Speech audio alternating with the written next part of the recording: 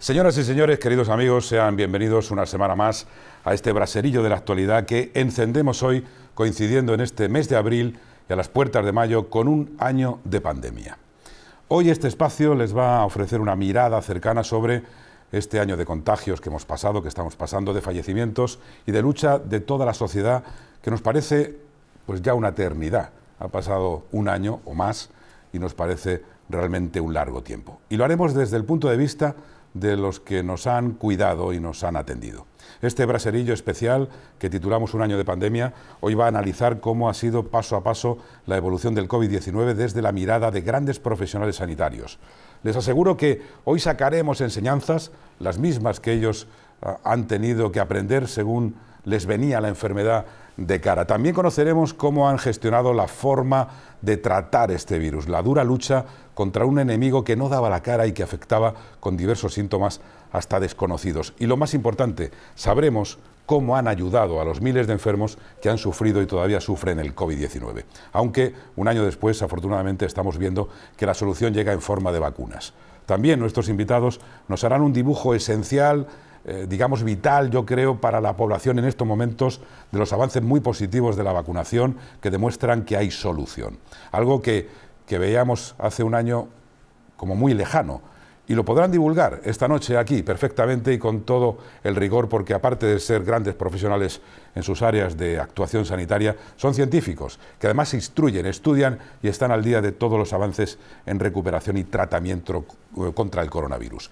Para tener esa visión óptima, esperanzadora de cómo los profesionales han gestionado la pandemia, contamos hoy con tres profesionales de la sanidad de Castilla-La Mancha que nos van a contar la importancia de la gestión desde la atención primaria, pasando por las urgencias, eh, también por una de las especialidades más esenciales contra el COVID, como es la inmunología, hasta llegar a lo que hoy son los grandes espacios de detección y vacunación. Tres estadios, tres escenarios y tres médicos junto con un invitado más, en el que la sanidad ha puesto el foco y toda su intensidad. El enfermo de COVID. Para hablar de esta máxima actualidad, es un enorme placer tener hoy aquí a la doctora Ana Carmen Giladrados, médico de familia. Es lo primero donde llegamos y llamamos la atención eh, primaria. La doctora es coordinadora del Centro de Salud Talavera 3 Río Tajo, miembro del Grupo Respiratorio de Tutores, residente de la Sociedad Española de Médicos de Atención Primaria Semergen, secretaria de la Asociación para la Investigación en Alergia y Asma, ha participado como ponente en congresos científicos nacionales e internacionales, es revisora de la Guía Española del Manejo del asma y ha publicado numerosos artículos científicos. Durante la pandemia diseñó circuitos de asistencia COVID en centros de salud y coordinó la puesta en marcha de los test masivos de antígenos, de PCRs y vacunación de un gran espacio de Castilla-La Mancha que hoy es un referente y es, por así decirlo, uno de los grandes vacunódromos de la región, el recinto ferial de Talavera de la Reina. Doctora Giladrados, muchas gracias por estar con nosotros. Muy buenas noches. Buenas noches. Un placer tenerla aquí. Gracias. Eh, la enfermedad del contagio ha llevado a miles de personas después de la detección y cuando se convertían en casos graves a las urgencias de un hospital, el área que mejor conoce el lugar donde vive nuestro próximo invitado. Una eminencia también en esto de las urgencias, no lo digo por la amistad fraternal que nos une, les hablo del doctor Joaquín Álvarez Gregory, médico adjunto de urgencias del Gran Hospital General Universitario Nuestra Señora del Prado de Talavera, especialista en medicina familiar y comunitaria, doctor en medicina cum laude por la Universidad de Salamanca, profesor colaborador en geriatría y en envejecimiento y coordinador de investigación del área integrada de Talavera de la Reina, autor de docenas de capítulos y artículos en obras, revistas científicas de gran prestigio nacional e internacional y colaborador de medios de comunicación. Doctor Gregory, también un placer siempre tenerle cerca. Muy buenas noches. Buenas noches, Jesús. Igualmente, muchas gracias. Muchas gracias. Y mm, otro gran especialista, de los mejores en su especialidad, podemos decir en España, es el doctor Álvaro Moreno Ancillo especialista en alergología del Hospital Nuestra Señora del Prado, ha desarrollado proyectos sobre alergia alimentaria, anisakis, es especialista en desensibilizaciones eh, en fármacos, alimentos y asma grave, que son su especialidad.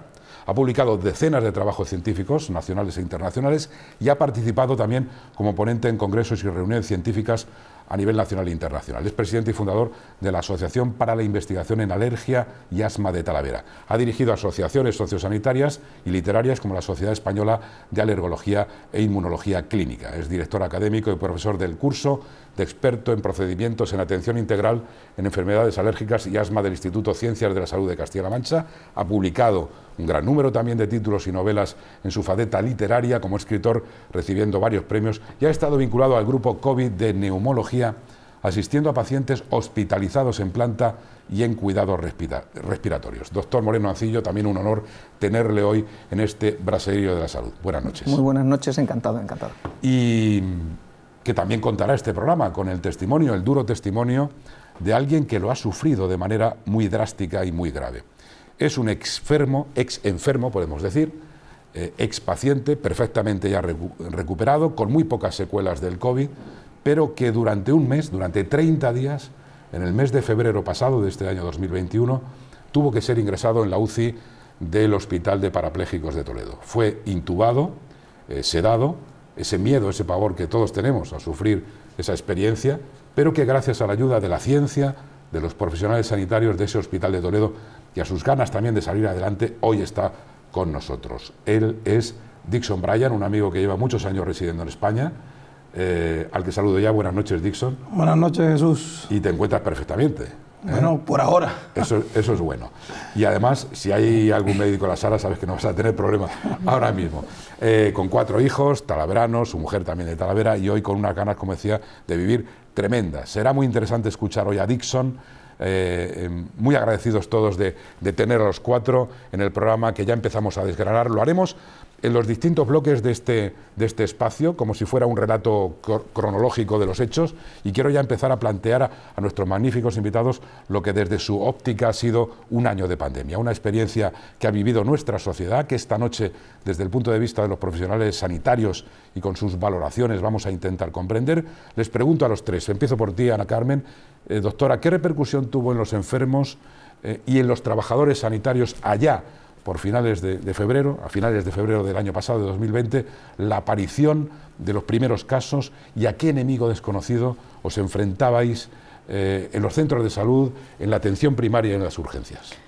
Pues hombre, nosotros en esa época precisamente ya había noticias en la televisión de lo que estaba pasando en Wuhan y claro, eso nos tenía en alerta, ¿no? En los pacientes que nos contaban catarros extraños con otros síntomas que iban asociados que no eran normales y ya empezamos a ver casos de gente que estaba en comunicación y que eran familias las que se contagiaban. Y eso ya nos puso eh, en lo que teníamos, mm, que estaba reflejándose ya en, otros países, ¿no? En Italia ya estaban habiendo casos y entonces eh, a nosotros, claro, en el centro de salud ya nos se comunicó a partir del 14 de marzo, que esa fecha la tengo grabada a fuego. Nosotros el 15, todos. Bueno, eh, bueno pues nosotros fue el 14 cuando nos dijeron, esto hay que hacerlo de otra manera. Entonces, claro, en el centro hicimos una reunión y dijimos, ¿cómo vamos a hacer esto? No podemos dejar a los pacientes, tenemos que seguir con nuestra atención, pero tenemos que hacerla de otra manera. Porque, lógicamente, el entrar, como se ve, normalmente en nuestro centro de salud, pues entre 50 y 60 personas por cupo de médico a diario, más otras 30 por enfermería, eso es, era inviable en, ese, en, esa, en esta situación. Cuando teníamos una, una, enfermedad que sabíamos que se contagiaba, claramente eh, no teníamos eh, la, la, forma de contagio directo, no sabemos si era a través de las gotas, a través del aire, a través de eh, tocar, de estar en mm. contacto. Entonces, eso supuso una forma de hacer distinta. Entonces, nosotros, te cuento un poco la experiencia que tuvimos nosotros, ¿no?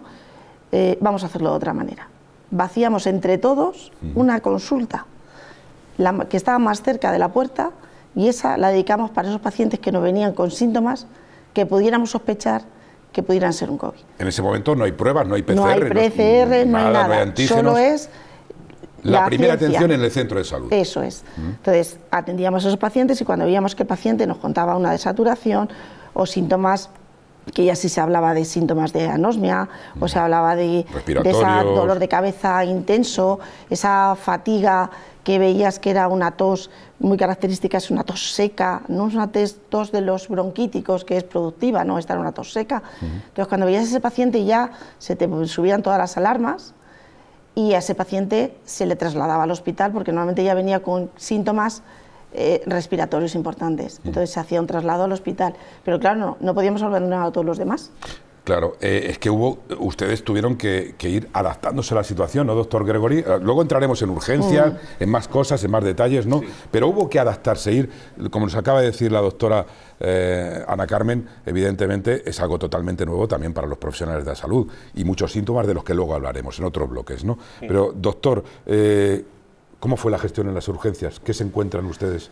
en las urgencias de ese hospital de Talavera? Pues a nosotros nos pasó quizás algo un poco parecido. Eh, realmente todos estábamos efectivamente pendientes de la prensa, pendientes de algunos informes y veíamos que en efecto pues había una pandemia, claramente con el foco en Wuhan inicialmente, después efectivamente el primer país eh, fue Italia y empezamos pues quizás bastante antes. Yo recuerdo ya algunos pacientes que empezaron a ser sospechosos incluso en febrero y que realmente eh, después de que, bueno, uno parecía una anécdota, después vinieron dos, después vinieron tres y pues efectivamente hicimos algo parecido. Nos reunimos el equipo de urgencias y decidimos que había que empezar a prepararse por lo que pudiera pasar. Efectivamente había mucha incertidumbre en aquel momento, no teníamos ni siquiera claro, como ha dicho Ana Carmen, cómo se contagia exactamente. Pensamos que efectivamente, pues bueno, parece que el tamaño del virus eh, pues no parece que pueda viajar mucho en el aire, que parece que el contacto tiene que ser cercano, pero acordaros que al final todos llevábamos guantes hasta la calle porque tampoco teníamos muy claro si nos podíamos contagiar tocando una barandilla, no teníamos cosas muy claras. ¿no? Lo que estaba claro es que no podíamos seguir atendiendo a los pacientes efectivamente de la misma manera que hacíamos hasta ese momento. Entonces el equipo se reunió eh, y bueno, liderados por, por una, yo creo que una excelente jefa que, es muy ejecutiva además y muy organizadora, que, que es la doctora Elena Ortiz, que tiene las cosas muy claras, decidimos claramente que teníamos que empezar en circuitos separados en los que eh, lo primero, que todo el personal y todo paciente que entraba eh, por la puerta eh, tenía que llevar una mascarilla puesta, eso para empezar, y después pues empezamos a hacer circuitos diferenciados en los que los pacientes sospechosos tenían salas de esperas diferenciadas y circuitos distintos y consultas específicas para ellos para no intentar evidentemente mezclar pacientes con posible patología COVID con pacientes que no lo tenían. ¿no? Y a partir de ahí empezamos a trabajar. Es verdad que cada vez iba teniendo más información y nos íbamos adaptando, yo creo que casi a diario había protocolos nuevos, directrices nuevas y todos nos teníamos que ir aprendiendo un poco er, ensayo-error, ¿no? Era lo que íbamos haciendo, pero bueno, creo que, que lo pudimos pasar lo, mejor posible en aquellos momentos. ya la doctora lo apuntaba, eh, doctor Moreno Ancillo, se presentaban distintos escenarios también, diversas patologías, ¿no? Eh, problemas, como ha dicho, respiratorios, etcétera. Es decir, era todo tan variado, tan complejo y sobre todo tan desconocido. ¿no? Sí, la verdad es que estamos hablando de una enfermedad que se manifestaba realmente mm, de forma respiratoria como la forma más grave, eso está claro. Y en, los primeros momentos el, miedo y lo que sufrimos fue la, la rapidez en incorporar gravedad a estos pacientes. Y eso fue junto con el boom de la pandemia, en el que de alguna manera hubo una afluencia masiva de pacientes de una, de una, de, una manera muy rápida. Es decir, el, famoso día 13 de marzo eh, y la semana después, eh, inicialmente Talavera no tenía una casuística exagerada, pero fue algo explosivo. Y algo explosivo sobre todo desde el punto de vista de la clínica en dos dos niveles, ¿no? El respiratorio grave, que será muy evidente, y luego esa otra clínica que es la que hemos ido comentando, tan diversa, que nos fue educando y enseñando para detectar cuándo y cómo tener que poner los distintos fármacos que luego vamos a entrar. Esos medicamentos que intuíamos los clínicos y los inmunólogos que debían funcionar y que en un momento dado al principio, pues casi tuvimos que pelearnos con las autoridades de la OMS porque eh, tenían la visión del, virus de una manera distinta de los que lo sufríamos en el día a día. Eh, doctor, me quedo con usted un momentito, eh, doctor Álvaro Moreno, porque como especialista en, alergología, como otros muchos especialistas de los hospitales de España, también de Castilla-La Mancha y por supuesto el de, Talavera, eh, todos los especialistas como usted se pusieron manos a la obra, intervinieron como, es el caso suyo, ¿no? apoyando en la planta de neumología del hospital ya en esos momentos de Talavera, un momento en el que se necesita la intervención de todos los especialistas. ¿no? ¿Qué síntomas claros encontraba usted, por ejemplo, cuando eh, se presentaban los pacientes? Eh, ¿Con qué se encuentra exactamente? ¿Con algo, como decimos, desconocido, pero sobre todo con muchos problemas respiratorios, con, con mucha fiebre? Eh, bueno, acabo de decir que muchos especialistas se pusieron en marcha y usted intervino en, esa, en ese área ¿no? también, ¿no? una cosa que hay que reconocernos a- a- entre todos, ¿no? Y no es echarnos, mm, bueno, flores, ¿no? Realmente estábamos tan aterrados que dimos un paso adelante mu- mucha gente de muchas especialidades y, y supimos que teníamos que trabajar de una manera di- multidisciplinar. Eso significaba que primero por la gran afluencia de pacientes debemos, debíamos echar una mano y luego cada uno en su, en su nivel de conocimiento, en este caso Sí. en parte llevando asma grave, teniendo mucha vinculación con neumología, teniendo conocimientos desde el punto de vista de la inmunología, Por eso le pregunto, ¿hay en pues ahí aspecto? sí que eh, su- pudimos Detectar, nuestro ¿no? grupo Algunos detectar, casos- igual que de forma simultánea en muchos otros hospitales, personas que conocían la patología respiratoria de este tipo, detectar cómo se comportaba el virus, que eso fue, la verdad que desde el punto de vista del, hecho científico, pues algo que a los médicos nos puede incluso atraer. Decir, vimos, estábamos viendo nacer una enfermedad y el detectar cómo se movía el virus de una manera y cómo la respuesta inflamatoria inmunológica era la que al final podía poner en peligro a la persona, es lo que nos hizo detectar qué fármacos. Y eso empezó pronto, aunque luego los ensayos han llegado más tarde. pero Ojo, empezó qué frase, pronto. ¿eh? qué frase, señores. Eh, deje- ahora le dejo de doctor Grego y voy también con la doctora. Estamos viendo nacer una enfermedad. Un médico, sí, sí. médicos que se encuentran en los, en lo- en los hospitales, en los centros de salud, atendiendo a la, a- a la familia, ¿no? Estamos viendo, eh, y, y- y claro, y no tenemos ni medios en ese momento, vamos a, a recordar el mundo mascarilla. Doctor, iba a decir algo. No, quería decir efectivamente, a raíz de lo que había dicho Álvaro, tan pronto como que si recuerdas que el día 23 los compañeros de una investigación no- nos pasamos hasta horas altas de madrugada haciendo revisiones sobre lo poco que se sabía en aquel momento, sobre qué fármacos podían funcionar o no, que era lo que había empezado a ensayar en China y en Italia, que nos habían precedido un Pero poco. todo eran Eh, informaciones eran- muy sesgadas Bueno, y los primeros artículos que habían ido saliendo, pero ahí, de ahí salió ese informe recomendando pues, los corticoides, bueno, y otro tipo de cosas que luego hablaremos. Doctora, eh, usted que coordina ese centro de salud, em, ¿cómo ya nos ha dicho cómo prepararon el operativo, ¿no? Pero ¿cómo se desarrolló la atención en los centros de salud en esos momentos de crisis y de numerosos casos y en los que todo el mundo quiere y necesita eh, ser atendido? Eh, ¿cómo, ¿Cómo trabajaron los médicos de familia? Pues mira, en el centro de salud eh, se estableció un sistema, hasta los higienistas cogían el teléfono para que el paciente pudiera llegar hasta el centro de salud. Y detrás, automáticamente ellos trasladaban, dependiendo de lo que el paciente requisara o, solicitara, se le pasaba a un grupo o a otro grupo distinto. Nosotros, los pacientes que teníamos en este caso, sí que había ya publicaciones o por lo menos estudios que nos decían que el paciente, su riesgo estaba en el séptimo día, entre el, séptimo y el, el sexto y séptimo día es donde estaba el problema.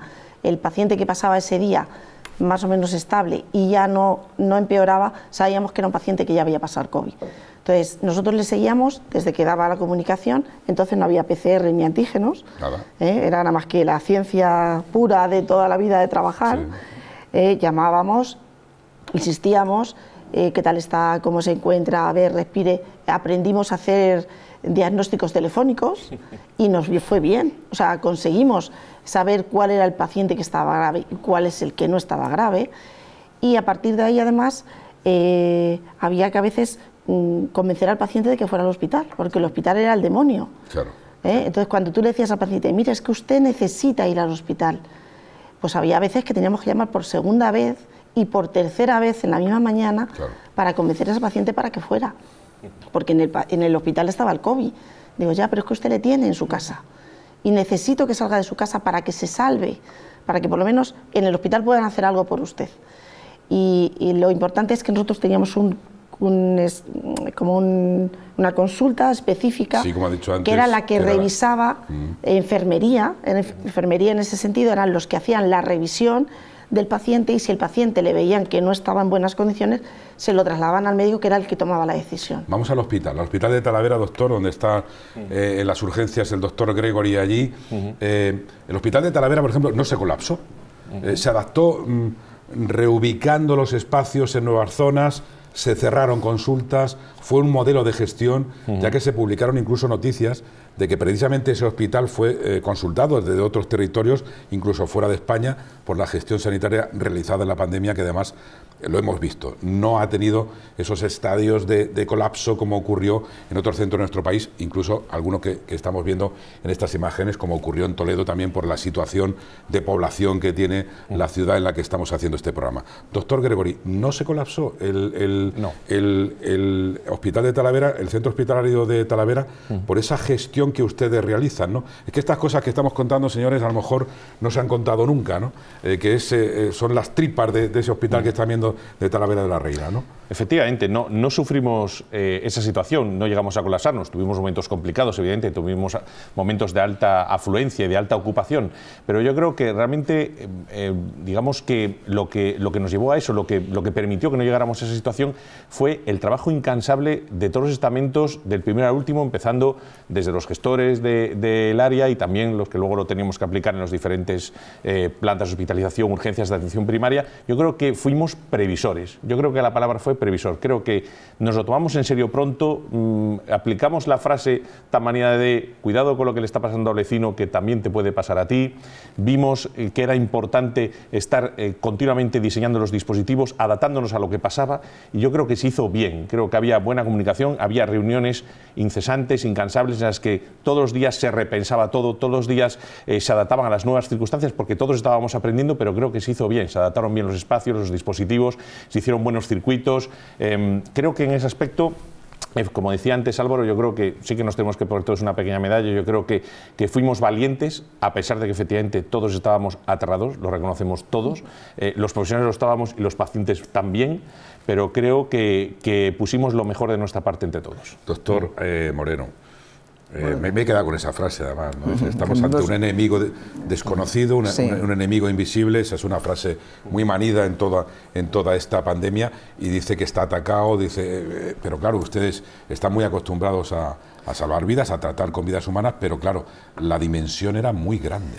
Claro, no, no, no llegamos a quebrar. Las eran muy eh, graves. Estuvimos a punto. Yo creo que, que sí que es cierto que el dar todos un paso adelante, y fíjate cosas quería puntualizar antes de lo que hablabais, de la dificultad de, diagnosticar estos enfermos y ese trabajo de, que, hablábamos de este enfermo que obligaba a ir al hospital. Es que esta enfermedad, a veces el paciente tenía una disnea feliz. O sea, disnea es la sensación de falta de aire, ¿no?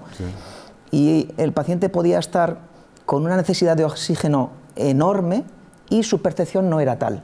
Y eso eh, hacía que algunos pacientes llegaran al hospital en unas condiciones tremendas y muy desfavorables, incluso necesitar intubación inmediata. Talavera no quebró, pero realmente llegamos a estar prácticamente con todo el hospital, prácticamente COVID. Y sí que fue muy importante el tema organizativo y el tema de, mm, ir dándole espacio a esta enfermedad que era nueva, parando lo demás. hay que reconocerlo, lo paramos y eso estuvo bien. Al parar, paramos el hospital para poder dedicar a esto, porque no había otro remedio y luego hay que volver a recuperarlo, que es lo que tendremos que hacer en, las fechas desde, bueno, desde el principio del año, si salvamos bien esta cuarta hora, que probablemente la podremos salvar bien con las vacunas. Entonces, no quebramos y yo creo que eh, depende de ese esfuerzo organizativo y, de, y del esfuerzo también de, la, de los profesionales, en el sentido de, de que realmente el esfuerzo no solamente fue un esfuerzo desde el punto de vista físico, sino mental, porque tuviste que acostumbrar a un proceso, a una enfermedad que te devolvía a veces a conceptos que tú habías vivido en la época de residente, en la que pacientes con una determinada edad tenían menos posibilidades de sobrevivir y eso eh, como médicos nos afectaba porque eran pacientes que en otras ocasiones con otras enfermedades tú les hubieras podido salvar mejor. Bueno, y eso sí que nos, nos afectaba un poco. Ellos representan una gran familia de sanitarios. Vamos a ir a, a, una, a una pequeña pausa. Eh, vamos a seguir avanzando, como he dicho, cronológicamente. Nos está esperando, está aquí con nosotros Dixon Bryan, es el enfermo, eh, grave además de COVID, hoy perfectamente eh, recuperado y además en este programa con todas las medidas de seguridad, por supuesto, realizando un espacio de información, sobre todo de información. Ellos están representando a todos, a toda la gran familia, y no, no me quedo en las enfermeras, ni en los enfermeros, ni en los servicios especiales de un tío que está en un helicóptero, una ambulancia, no, los administrativos, todos, todos, los de mantenimiento, como decía la doctora eh, Giradrados, ¿no? Decía, no, no, es que, eh, bueno, hasta los que estaban en otras cosas, los los higienistas estaban llamando por teléfono. Señores, un año de pandemia, lo estamos viviendo aquí en el Braserillo con tres eminencias y sobre todo también dando lo más importante, recordando lo que fue una dura lucha. Enseguida volvemos.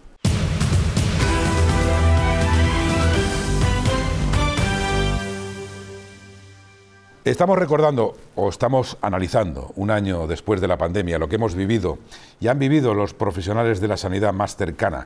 Hoy con el doctor Gregory, la doctora Giladrados y también el doctor Moreno Ancillo, con tres especialistas que trabajan en uno de los hospitales de la región, el de Talavera de la Reina, que atiende a unas comarcas muy extensas, muy importantes, con un gran número de ciudadanos. Estamos analizando la evolución de la pandemia, que según iba contagiando a más personas, también se convertía en una escuela, como han dicho ellos, en un aprendizaje continuo de esta enfermedad. Pero sin tregua, un aprendizaje sin tregua, sin tregua, sobre la marcha, al tener que afrontar con nuevos tratamientos el COVID. Doctor Gregory, ¿cómo fue ese aprendizaje eh, y toma de, de nuevos conocimientos, por así decirlo? Pues ese aprendizaje fue duro, fue incierto, eh, nadie sabía lo que funcionaba y lo que no. Eh, y como efectivamente antes nos decía Álvaro, eh, venían esos pacientes con la disnea feliz, hasta tal punto te puedo, os puedo contar que algún paciente en triaje estaba whatsappeando con su familia, eh, sentado, sin una mayor disnea de lo que podía parecer eh, grave, y a los 10 minutos estaba puesto boca abajo con un tubo. Eh, ¿Cómo aprendimos? Pues bueno, eh, nos íbamos fiando un poco de la bibliografía, la poca que iba viendo, las experiencias previas de los compañeros que lo habían pasado un poco antes que nosotros, como en China y en Italia, y empezamos eh, un poco a replicar los tratamientos que se ponían en otros sitios y íbamos aprendiendo qué funcionaba un poco mejor y un poco peor, en qué momento ponerlo, que eso nos hablará luego seguro Álvaro un poquito mejor en planta de hospitalización, porque no en todos los estadios de la enfermedad hay que usar los mismos fármacos, y eh, teníamos muy claro que el soporte respiratorio era muy importante, y, y luego, pues, pues bueno, de- de- de- intentar hacer todo lo que teníamos en nuestra, en nuestra mano. Vamos a entrar en eso. Después de esas valoraciones, eh, a los tres, eh, empiezo por usted, doctora. Empezáis a aplicar tratamientos. Bueno, en primaria el tratamiento realmente lo único que introducías es cuando el paciente se negaba como el mío, pues a lo mejor ya empezabas, sabías que necesitabas una serie de fármacos para empezar a, a- a intentar salvarle la vida, porque veías que él solo no quería, porque no quería al hospital. Claro. Pero en primaria se utilizaban pocos, porque realmente cuando tú estabas en primaria el, ba- el basal era el paracetamol para la fiebre, para el control de los síntomas, alguno que tenía mucha tos o muy irritativa, alguna, algún antitusígeno o algún mucolítico para suavizar esa tos, pero realmente no metías la medicación porque no había nada específico, es como la Claro, gripe. claro. No hay un tratamiento para la gripe, es agua, hidratación y paracetamol. Claro. Pues esto era un poco hasta que llegaba a estadio más avanzado, que era cuando le trasladabas al hospital. Por ejemplo, al doctor, al doctor Moreno Ancillo, como alergólogo también en esa, en esa planta de inmunología, ¿no? Y con los neumólogos. Sí, Usted que, que está tan formado y que en, en constante formación, ¿qué empieza a ver? O sea, ¿qué salidas? Se pregunta en un momento, a ver, utilizamos este, este tra- tratamiento, este protocolo. Lo, pri- lo primero ¿Qué que empieza a atisbar, doctor? Lo primero que empezamos a comprobar es que, la fa- que el- que era una enfermedad de dos fases. Con muchos síntomas, además. y con muchos síntomas y- inicialmente que hacían eh, que el paciente pareciera una gripe sin más. ¿Mm? Esa fase inicial era una fase viral, en la que dependía del desarrollo del virus dentro de la vía respiratoria. Pero el paciente de repente empeoraba. Empeoraba de una forma rápida, súbita, y hacía un proceso de una neumonía o una bronquioneumonía que nos empezaba a recordar algunas neumonitis, algunas enfermedades que, que- que eran de tipo autoinmune o de tipo inmunológica o alveolitis que veíamos nosotros. Y fue cuando empezamos a decir, bueno, aquí hay dos fases claras de la enfermedad. La fase replicativa del virus, para la cual habrá que dar algún tipo de fármaco, y una fase inflamatoria, en la que empezamos a elucubrar una teoría que es la que ahora está vigente. El sistema inmunológico se pasa de frenada, intentando deshacerse del virus Claro.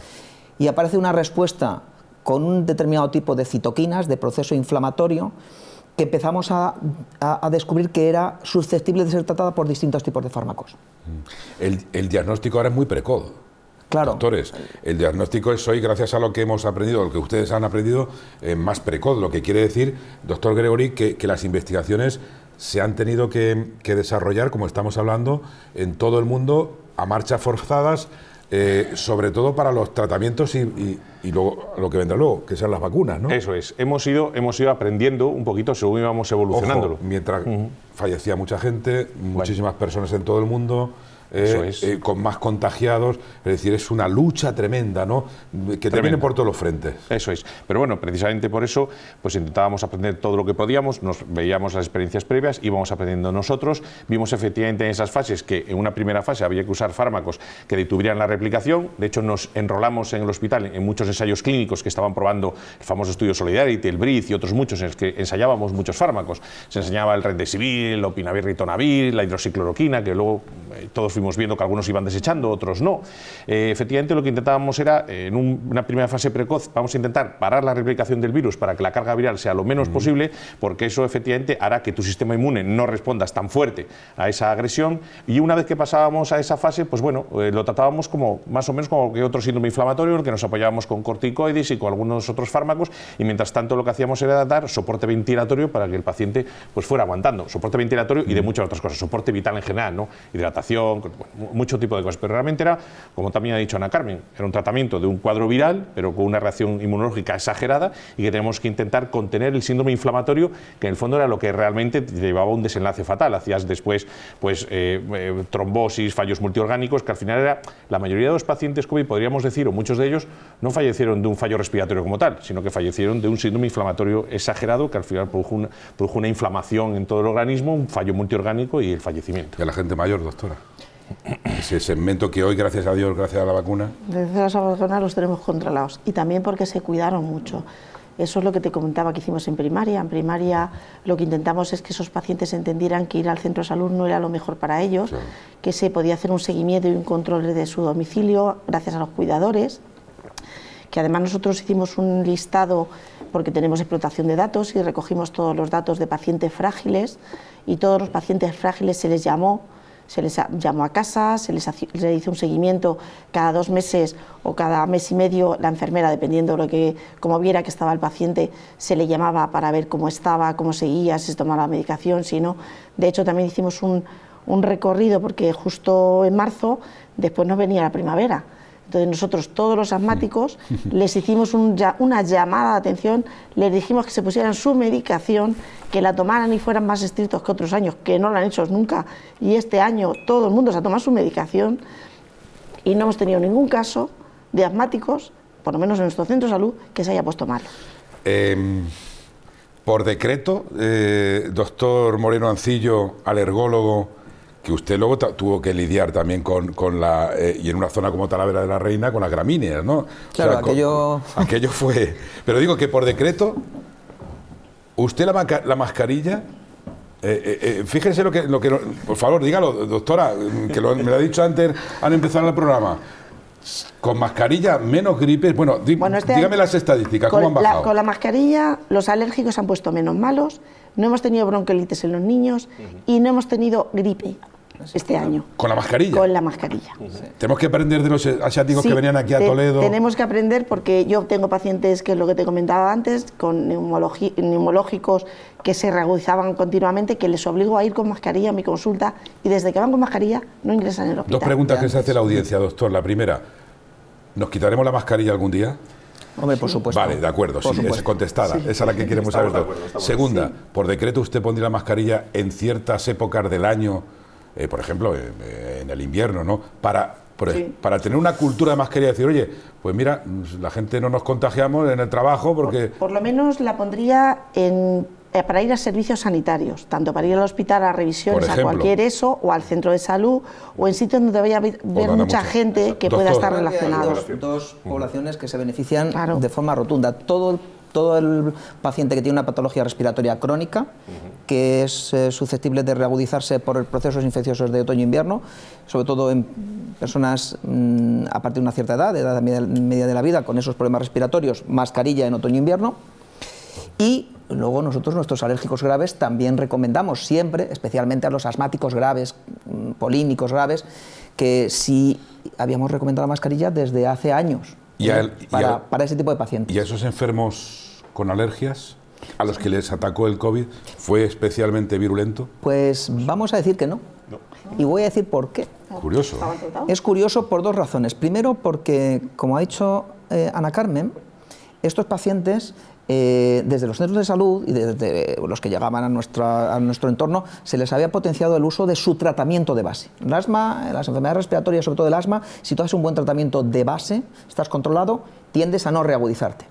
Y luego, además, eh, el proceso inflamatorio que genera la respuesta grave del COVID es como si fuera el YAN de la alergia. Es decir, la respuesta inflamatoria de la alergia sigue un sistema que llamamos sistema T2, sis- respuesta de, de mucosas T2, y el sistema inflamatorio del COVID iba por otras vías. Sí. Con lo cual, paradójicamente, aquellos pacientes asmáticos, alérgicos, que estaban bien controlados, la casuística de COVID grave está por debajo de la de la población general. Curioso, ¿eh? Curioso. Bueno, hemos hablado de tratamientos, hoy son favorables en la mayoría de los casos.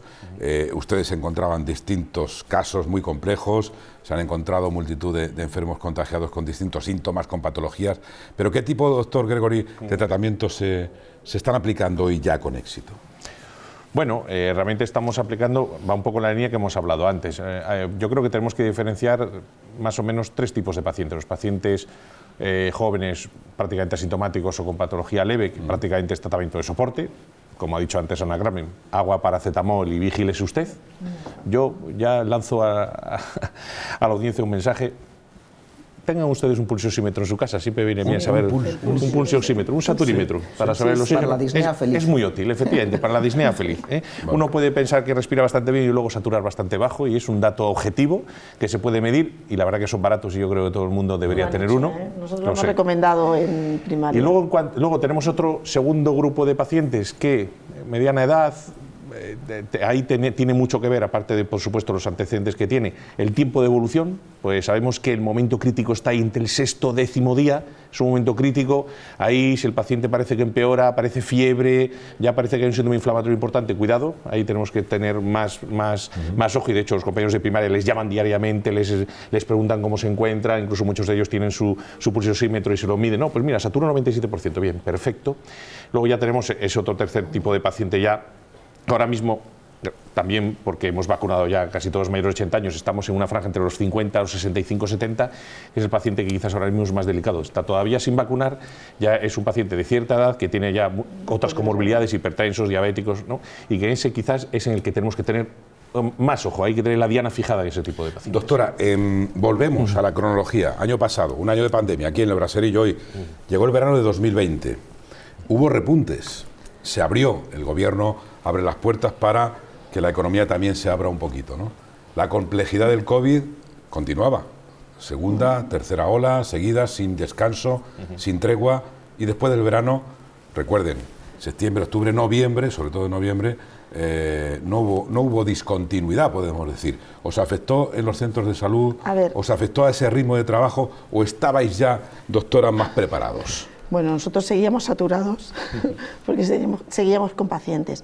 Lo que pasa es que hubo una cosa que quizá me adelanto a tu pregunta. Hubo algo que cambió. Y lo que cambió en los centros de salud es que teníamos antígenos y PCRs. Ahí está. Entonces, el diagnóstico era fundamental. Más precoz, como Claro, dicho. nosotros ya sabíamos al que había que vigilar bien o al que no hacía falta vigilar porque era una cosa banal.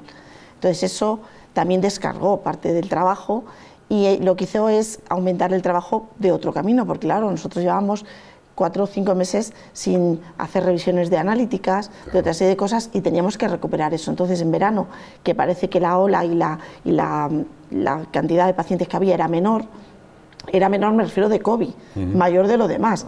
Yo en, en- en agosto vi 1.400 pacientes en mi consulta. 1.400. Para En una que- ciudad como Talavera de la Reina. Sí, en una, En una consulta, consulta, de solo una consulta. Solo en una Con consulta. Con todos los centros de salud que hay y el hospital. ¿Vale? ¿no? O sea que eso lo he sacado porque es una barbaridad. que te da el nivel de complejidad que se estaba barbaridad. generando. Y lo que pasa es que cuando eh, se planteó que había que sacar los antígenos a PCR del centro de salud, porque si además de las consultas que estábamos intentando recuperar, tendríamos que tener un circuito para esos pacientes que en teoría seguían infectados, no íbamos a dar capacidad y se nos juntaba que, además con la campaña de vacunación. O sea, nos encontramos saturados y no sabíamos. La gripe, en ese momento claro, era la, campaña de la gripe. las vacunas del COVID todavía. no, no, hablo de la campaña de la gripe. Entonces Sí. todo eso se multiplicó y se fue cuando se planteó hacerlo, es salir, sacarlo fuera de los centros. Señores, con una cosa añadida, o con muchas cosas añadidas, o con muchos casos añadidos, es que en España y en nuestros hospitales de la provincia de Toledo y de Castilla-La Mancha llegaban eh, pacientes con infartos, con accidentes menos porque estábamos todos sin conducir, pero había otras muchas patologías y la sanidad continuaba. ¿no? Eso, eso ha continuado. Se, se, bueno, las cirugías menores, ¿no, doctor? En los hospitales de, de- toda España, eh, bueno, pues eh, se aplazaron, era lo, más lógico, ¿no? Pero es que, fíjense, la, la- mujer que está aquí con nosotros esta noche, sí que es verdad que está muy justificado lo que ustedes hacían en, los- en los balcones, siempre lo diré, ¿no? Poco, con todos, con todos ellos, ¿no? Con todos los de la sanidad, ¿no? Desde el primero hasta el último, ¿no? La gestión de pruebas PCR de antígenos, la, la puesta en marcha de grandes espacios como en Talavera de la Reina, Talavera Ferial, o aquí en Toledo también, ahora el nuevo hospital de Toledo, para la realización de pruebas. Ahí tienen ese, ese escenario, eso es Talavera Ferial, eh, y en otros puntos también de la región. Tiene, tiene también como exponente máximo a, la doctora Ana, Ana Carmen Giladrados. Ella nos puede explicar eh, cómo se pone en marcha, porque es la que lo gestionó, la que lo coordinó, y cómo se coordina ese grandísimo operativo, tan mastodóntico, ¿no? que luego se convirtió eh, en un gran espacio para el plan de vacunación. Pero primero había que hacer esas pruebas a las que ella se refería. La doctora es la impulsora desde la gerencia de Talavera de esa, como digo, grandiosa gestión. ¿Cómo ha sido esa experiencia, doctora, de planificar un servicio hoy tan importante y vital para los ciudadanos que consigue después ser trascendental como hoy, en abril de, de 2021, para la de- no, no para la detención, para la lucha contra el COVID, cuando nos pinchan, ¿no? ¿Cómo fue esa experiencia en ese momento en el que hay que poner los espacios a disposición de los Pues ciudadanos? como, como has dicho, soy la coordinadora del centro de salud y yo vi que se nos iba de las manos.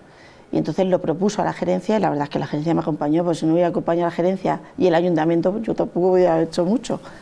Eh, se lo propuse, les pareció bien, lo estuvieron analizando y entonces me, me dijeron que sí yo quería ponerlo en marcha y dije que sí, porque cuando uno propone una idea no se puede echar ropa atrás. Doctora, ¿cuántas PCR, cuántos antígenos, a, a qué se llegó? ¿Cuál es el, el Mira, tope el día diario? que más antígenos hicimos fueron entre antígenos y PCR 700.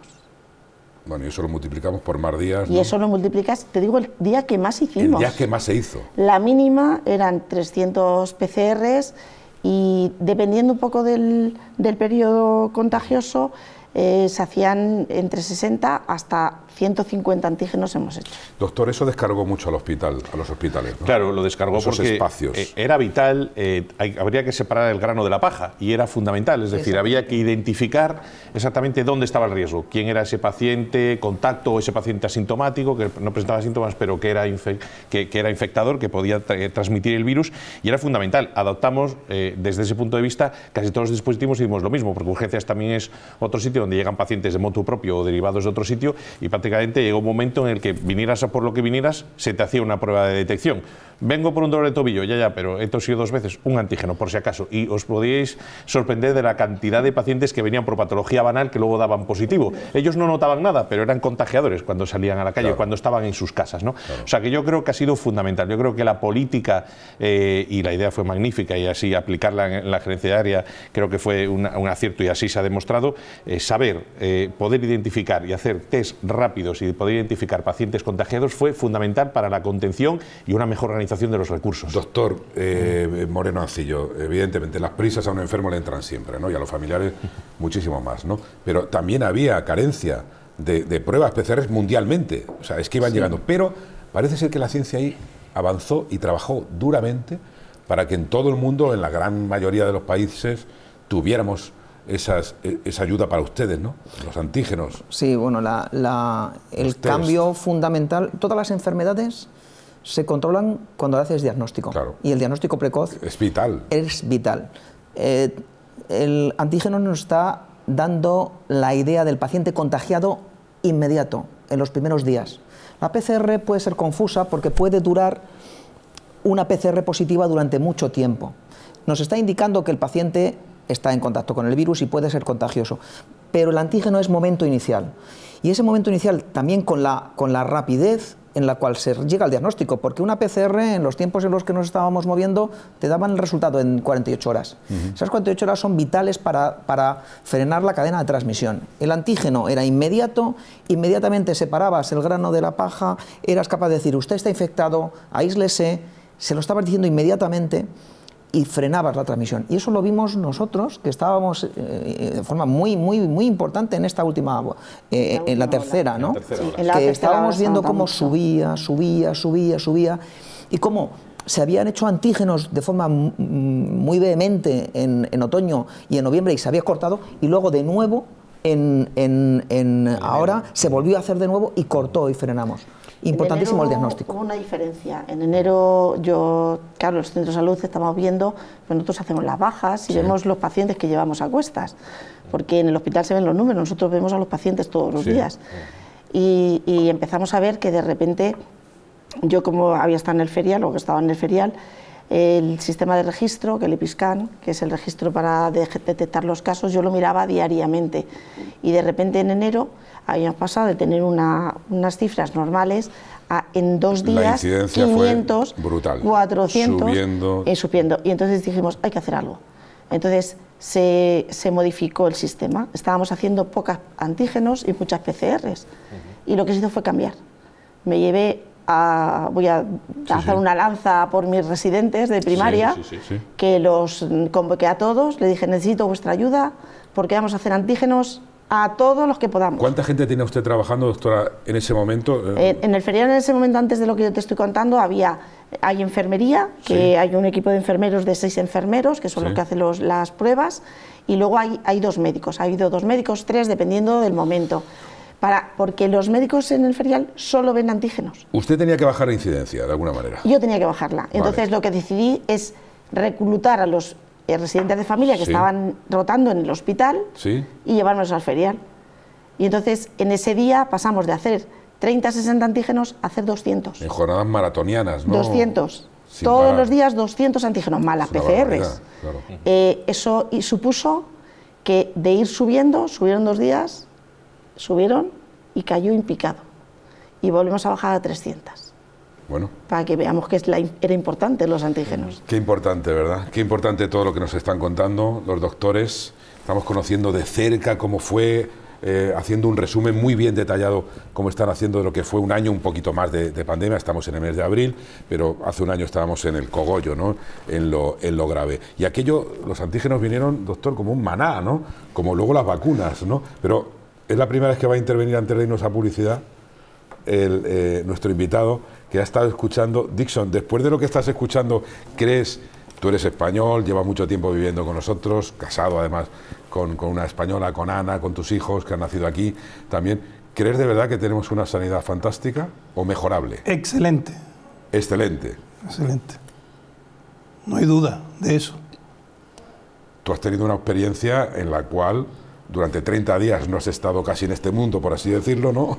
que luego nos vas a contar después de la, de la publicidad, pero has sentido esa, esa, esos cuidados, has sentido es, esos y, tratamientos, has sentido esa cercanía. Sí, antes y después de, de, la UCI. He tenido muy cercano a los médicos que me han explicado, me, me han dado ánimo y luego también que, que lo malo que le he pasado pues también lo olvidara y que y que siguiera adelante, que eso es muy importante. Ojo, doctor, porque es que el caso de Dixon es todavía un poco más complicado, porque Dixon es, un es una persona trasplantada de riñón. Eso es. Es, por tanto, un paciente inmunodeprimido que tiene mucha más susceptibilidad, tiene mucha más comorbilidad, tiene mucho más riesgo que otro paciente normal y, por tanto, en su, en su caso, el cuadro pues, era de un pronóstico mucho más grave que el de la población general. Mm. Vamos a hablar de la vacuna. Una simple pregunta para la doctora, que ella precisamente también está dirigiendo ese rango de edades, bueno, se están coordinando con, con las autoridades sanitarias, evidentemente, bueno, pero está coordinando sí. también el rango de edades. Tenemos, podemos decir, en, la, en Castilla-La Mancha ya a la gran población eh, de nuestros mayores, de nuestros abuelos vacunados, la mayoría, la yo creo. de mayor de 80 con las años dos vacunas, ¿no? están vacunados con las dos vacunas. Ahora estamos en el Sí, puede, hombre, puede, lo digo porque siempre habrá alguno que diga yo no. Y eh, puede ser porque hay alguno que se haya o se haya perdido el teléfono tal, pero eso con dirigirse a su centro de salud, lo digo como anotación, dirigiéndose a su centro de salud, comunicando que a él no, se le- no ha recibido la llamada, se le mete en un listado para vacunarle lo antes posible. Pero en la provincia de Toledo y en Talavera de la Reina podemos decir. Talavera de la Reina, mayores de 80 años están vacunados todos. Y ahora estamos en el rango de a partir de 60 Ahora años. estamos con dos tipos de rangos, se, se hacen simultáneos, porque como depende de la cantidad de vacuna que tengamos, vacunamos de una o de otra. Esto no es, es dependiendo de. Entonces, estamos vacunando de 70 a 79 por un lado y de 60 a 69 por otro. 60 a 69 con AstraZeneca y de 70 a 79 con Pfizer o Moderna, depende de lo que nos manden. Señores, es apasionante el mundo vacunas y además ellos nos van a, a dar mucha luz en ello- eh, sobre ese asunto de las vacunas. ¿Por qué debemos vacuna- vacunarnos? Ya la, la pregunta está contestada, evidentemente. O sea, hay que vacunarse, vacunarse. sí, y se lo dice alguien que aparece en televisión o medios de comunicación y que yo estoy deseando. Yo estoy todavía cinco menos de los 60, doctora. Eh, y, y- y tenemos que hablar de las vacunas, porque después de las PCRs, después de los antígenos, viene precisamente algo que, como un milagro, está también salvándonos la vida y está eh, haciendo que todos volvamos un poquito a la normalidad. Enseguida, después, hablamos de la historia de Dixon Bryan, que es realmente apasionante. Un ex enfermo, un ex paciente de COVID muy grave, que nos cuenta hoy, gracias a Dios, aquí su experiencia.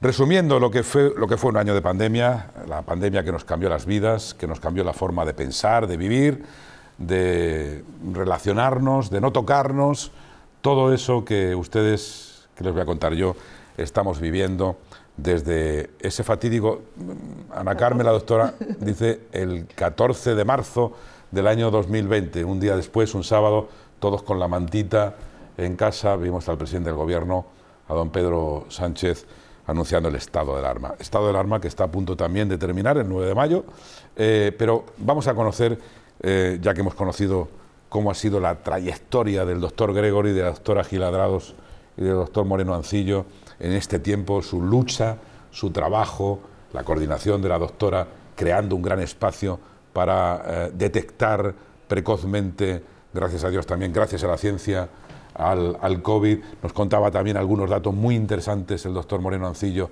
sobre la evolución de lo que se estaban encontrando también un alergólogo como él, precisamente habla de, de que algunos pacientes incluso que él ha tratado pues no han tenido tanta dificultad con el COVID, no ha sido tan virulenta con ellos, y qué le voy a decir de un, de un médico de urgencias como el doctor Gregory, donde llegó precisamente nuestro amigo Dixon Bryan, vamos a conocer de cerca el caso de Dixon, por cierto, para añadir eh, más, digamos, eh, antes lo hemos dicho, complicaciones a su caso, paciente trasplantado hace años de riñón, que cuando le aparecen los síntomas en casa, pues presenta, después de ir a, al hospital de Talavera, una grave neumonía bilateral.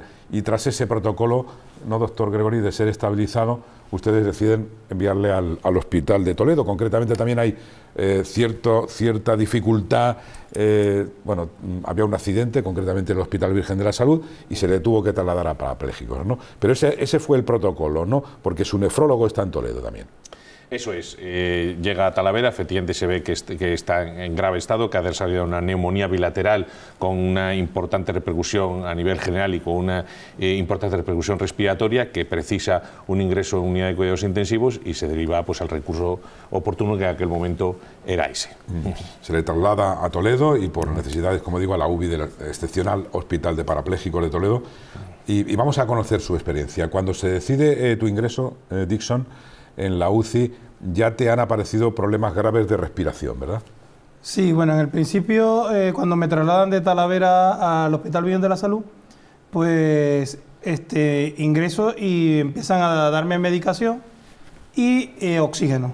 Entonces empiezo con 2 litros por minuto, pero al día siguiente va aumentando y, y, en dos días ya llega a 15 litros, que es lo que da la habitación uh -huh. donde estaba.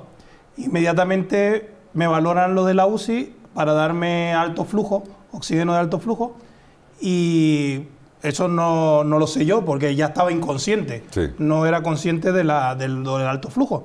Pues media hora después eh, rechacé lo que es el alto flujo y enseguida me, me entubaron y me sedaron porque no había posibilidades de alto flujo. Los médicos deciden intubar y sedar y permaneces intubado nada más y nada menos y sedado que 30 días.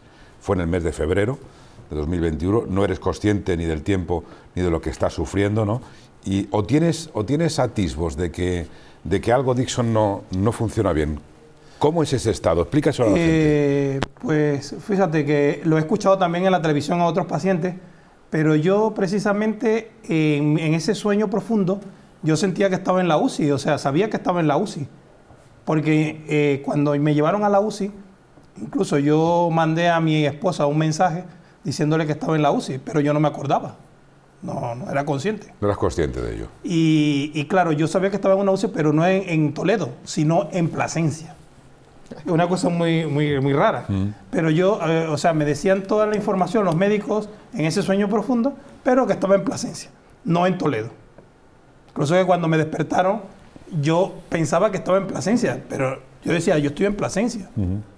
Además que la, la médico que estaba se llevó un susto porque yo le decía, yo he fallecido ayer. Porque el sueño profundo, pues, bueno, lo llaman, creo que lo llaman delirio hipoactivo. No sé si corríjame el, el doctor, ¿no? Sí, sí. Eh, es, eh, lo hemos visto en muchísimos pacientes después de pasar ese trance y estar intubados y sedados, que se despiertan y están absolutamente desorientados, con un delirium, que, que realmente no saben ni dónde están ni, cuán- ni lo que ha pasado. Es muy ¿Cómo es el protocolo, doctor, de un paciente como en esos 30 días? ¿Cómo es un día eh, normal para los profesionales en el hospital de parapléjicos cuidando a Dixon? Bueno, pues básicamente es un continuo. Hay tres turnos de enfermería continuados y luego todo el personal de, de medicina que suelen tener, aparte de guardias de 24 horas, otros turnos de apoyo. Y básicamente lo que se hace es tener monitorizado al paciente continuamente.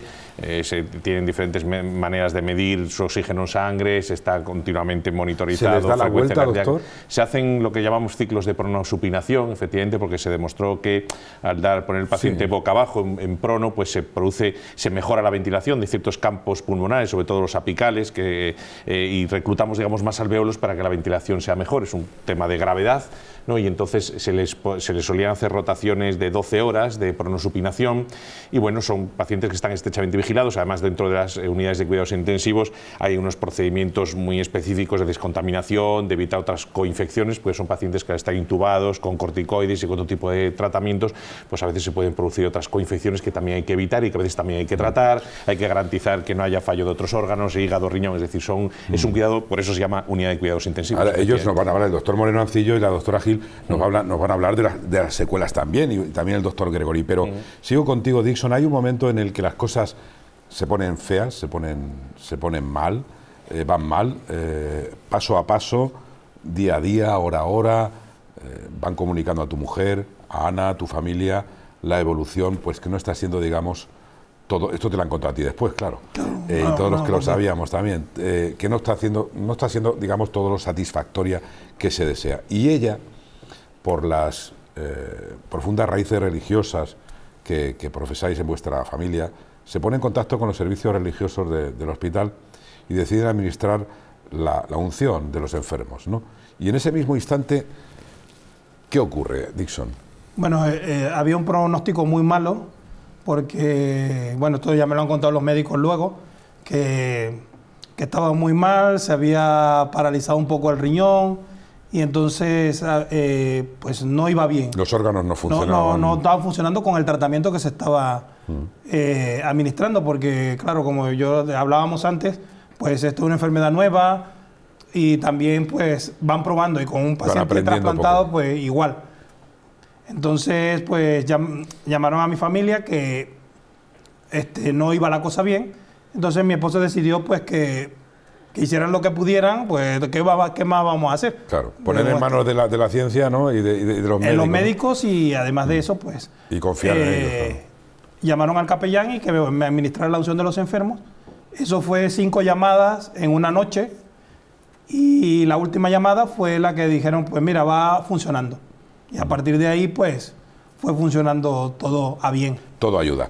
Eh, esa voz, doctora, que tiene Dixon, porque su voz no es así, Esa Ha mejorado muchísimo, ha mejorado muchísimo esa voz, esa voz ronca que él tiene. es Eso debido- tiene que ver con la intubación. Cuando los pacientes les intuban, al sacar el, al, al tener que atravesar las cuerdas vocales para poder poner el tubo, pues a veces hacen pequeñas inflamaciones, irritaciones, pequeñas roturas y eso puede tardar un tiempo que a veces se recupera, o sea, con el tiempo se recupera. Hay otras veces que si hay un daño ya persistente en esas cuerdas, pues se queda con esa voz. Doctor Moreno, el caso de Dixon es excepcional porque Sí. gracias a, a- a todos esos cuidados y a, y a la puesta en marcha de esos tratamientos, pues evidentemente evoluciona muy, muy bien. ¿no? Hay otros casos que, por ejemplo, la gente se ha quedado sin voz. Pero hablemos de secuelas ahora. Eh, bueno, Dixon tiene algunas que ahora nos va a contar, ¿no? Pero hablemos de secuelas, doctor Moreno, porque se han encontrado también, al igual que la, la maldita enfermedad eh, presentaba muchísimas cosas, ¿no? Por ejemplo, he oído a gente que ha perdido la memoria, gente que ha perdido el cabello, eh, fatiga. Dixon, ¿tú también te fatigas Eh, bueno, ahora estoy- continúo con oxígeno por la noche? por la noche, sí. Eh, eh, fatiga, cansancio, ¿no? Sí, todavía me queda un poco de cansancio y bueno, tengo, tengo que seguir inyectándome parina por, la, por las trombos y bueno, toda la, todo lo que conlleva haber pasado el COVID. En ese mismo plano le están viendo ustedes una señal que era mucho más de su cara, de su rostro, en- cerca de la comisura de, la- de- de- de su, de su boca, de los labios, porque era, era una señal eh, inequívoca de este es del parte de guerra. Doctora, Sí, es, tubo. una- es un decúbito, se llama decúbito, que es el roce que hace el tubo sobre la piel. del oxígeno, pero que, que, bueno, con, que se está tratando muy bien, ¿no? Y Dixon Sí. Sí, va eso bastante bien. Yo creo que eso es un poco de lo menor, ¿no? Eso es lo eso, menor. Doctor, hablemos de secuelas. Hay, hay- las secuelas dependen también de, de la gravedad que haya sufrido el paciente en la propia enfermedad.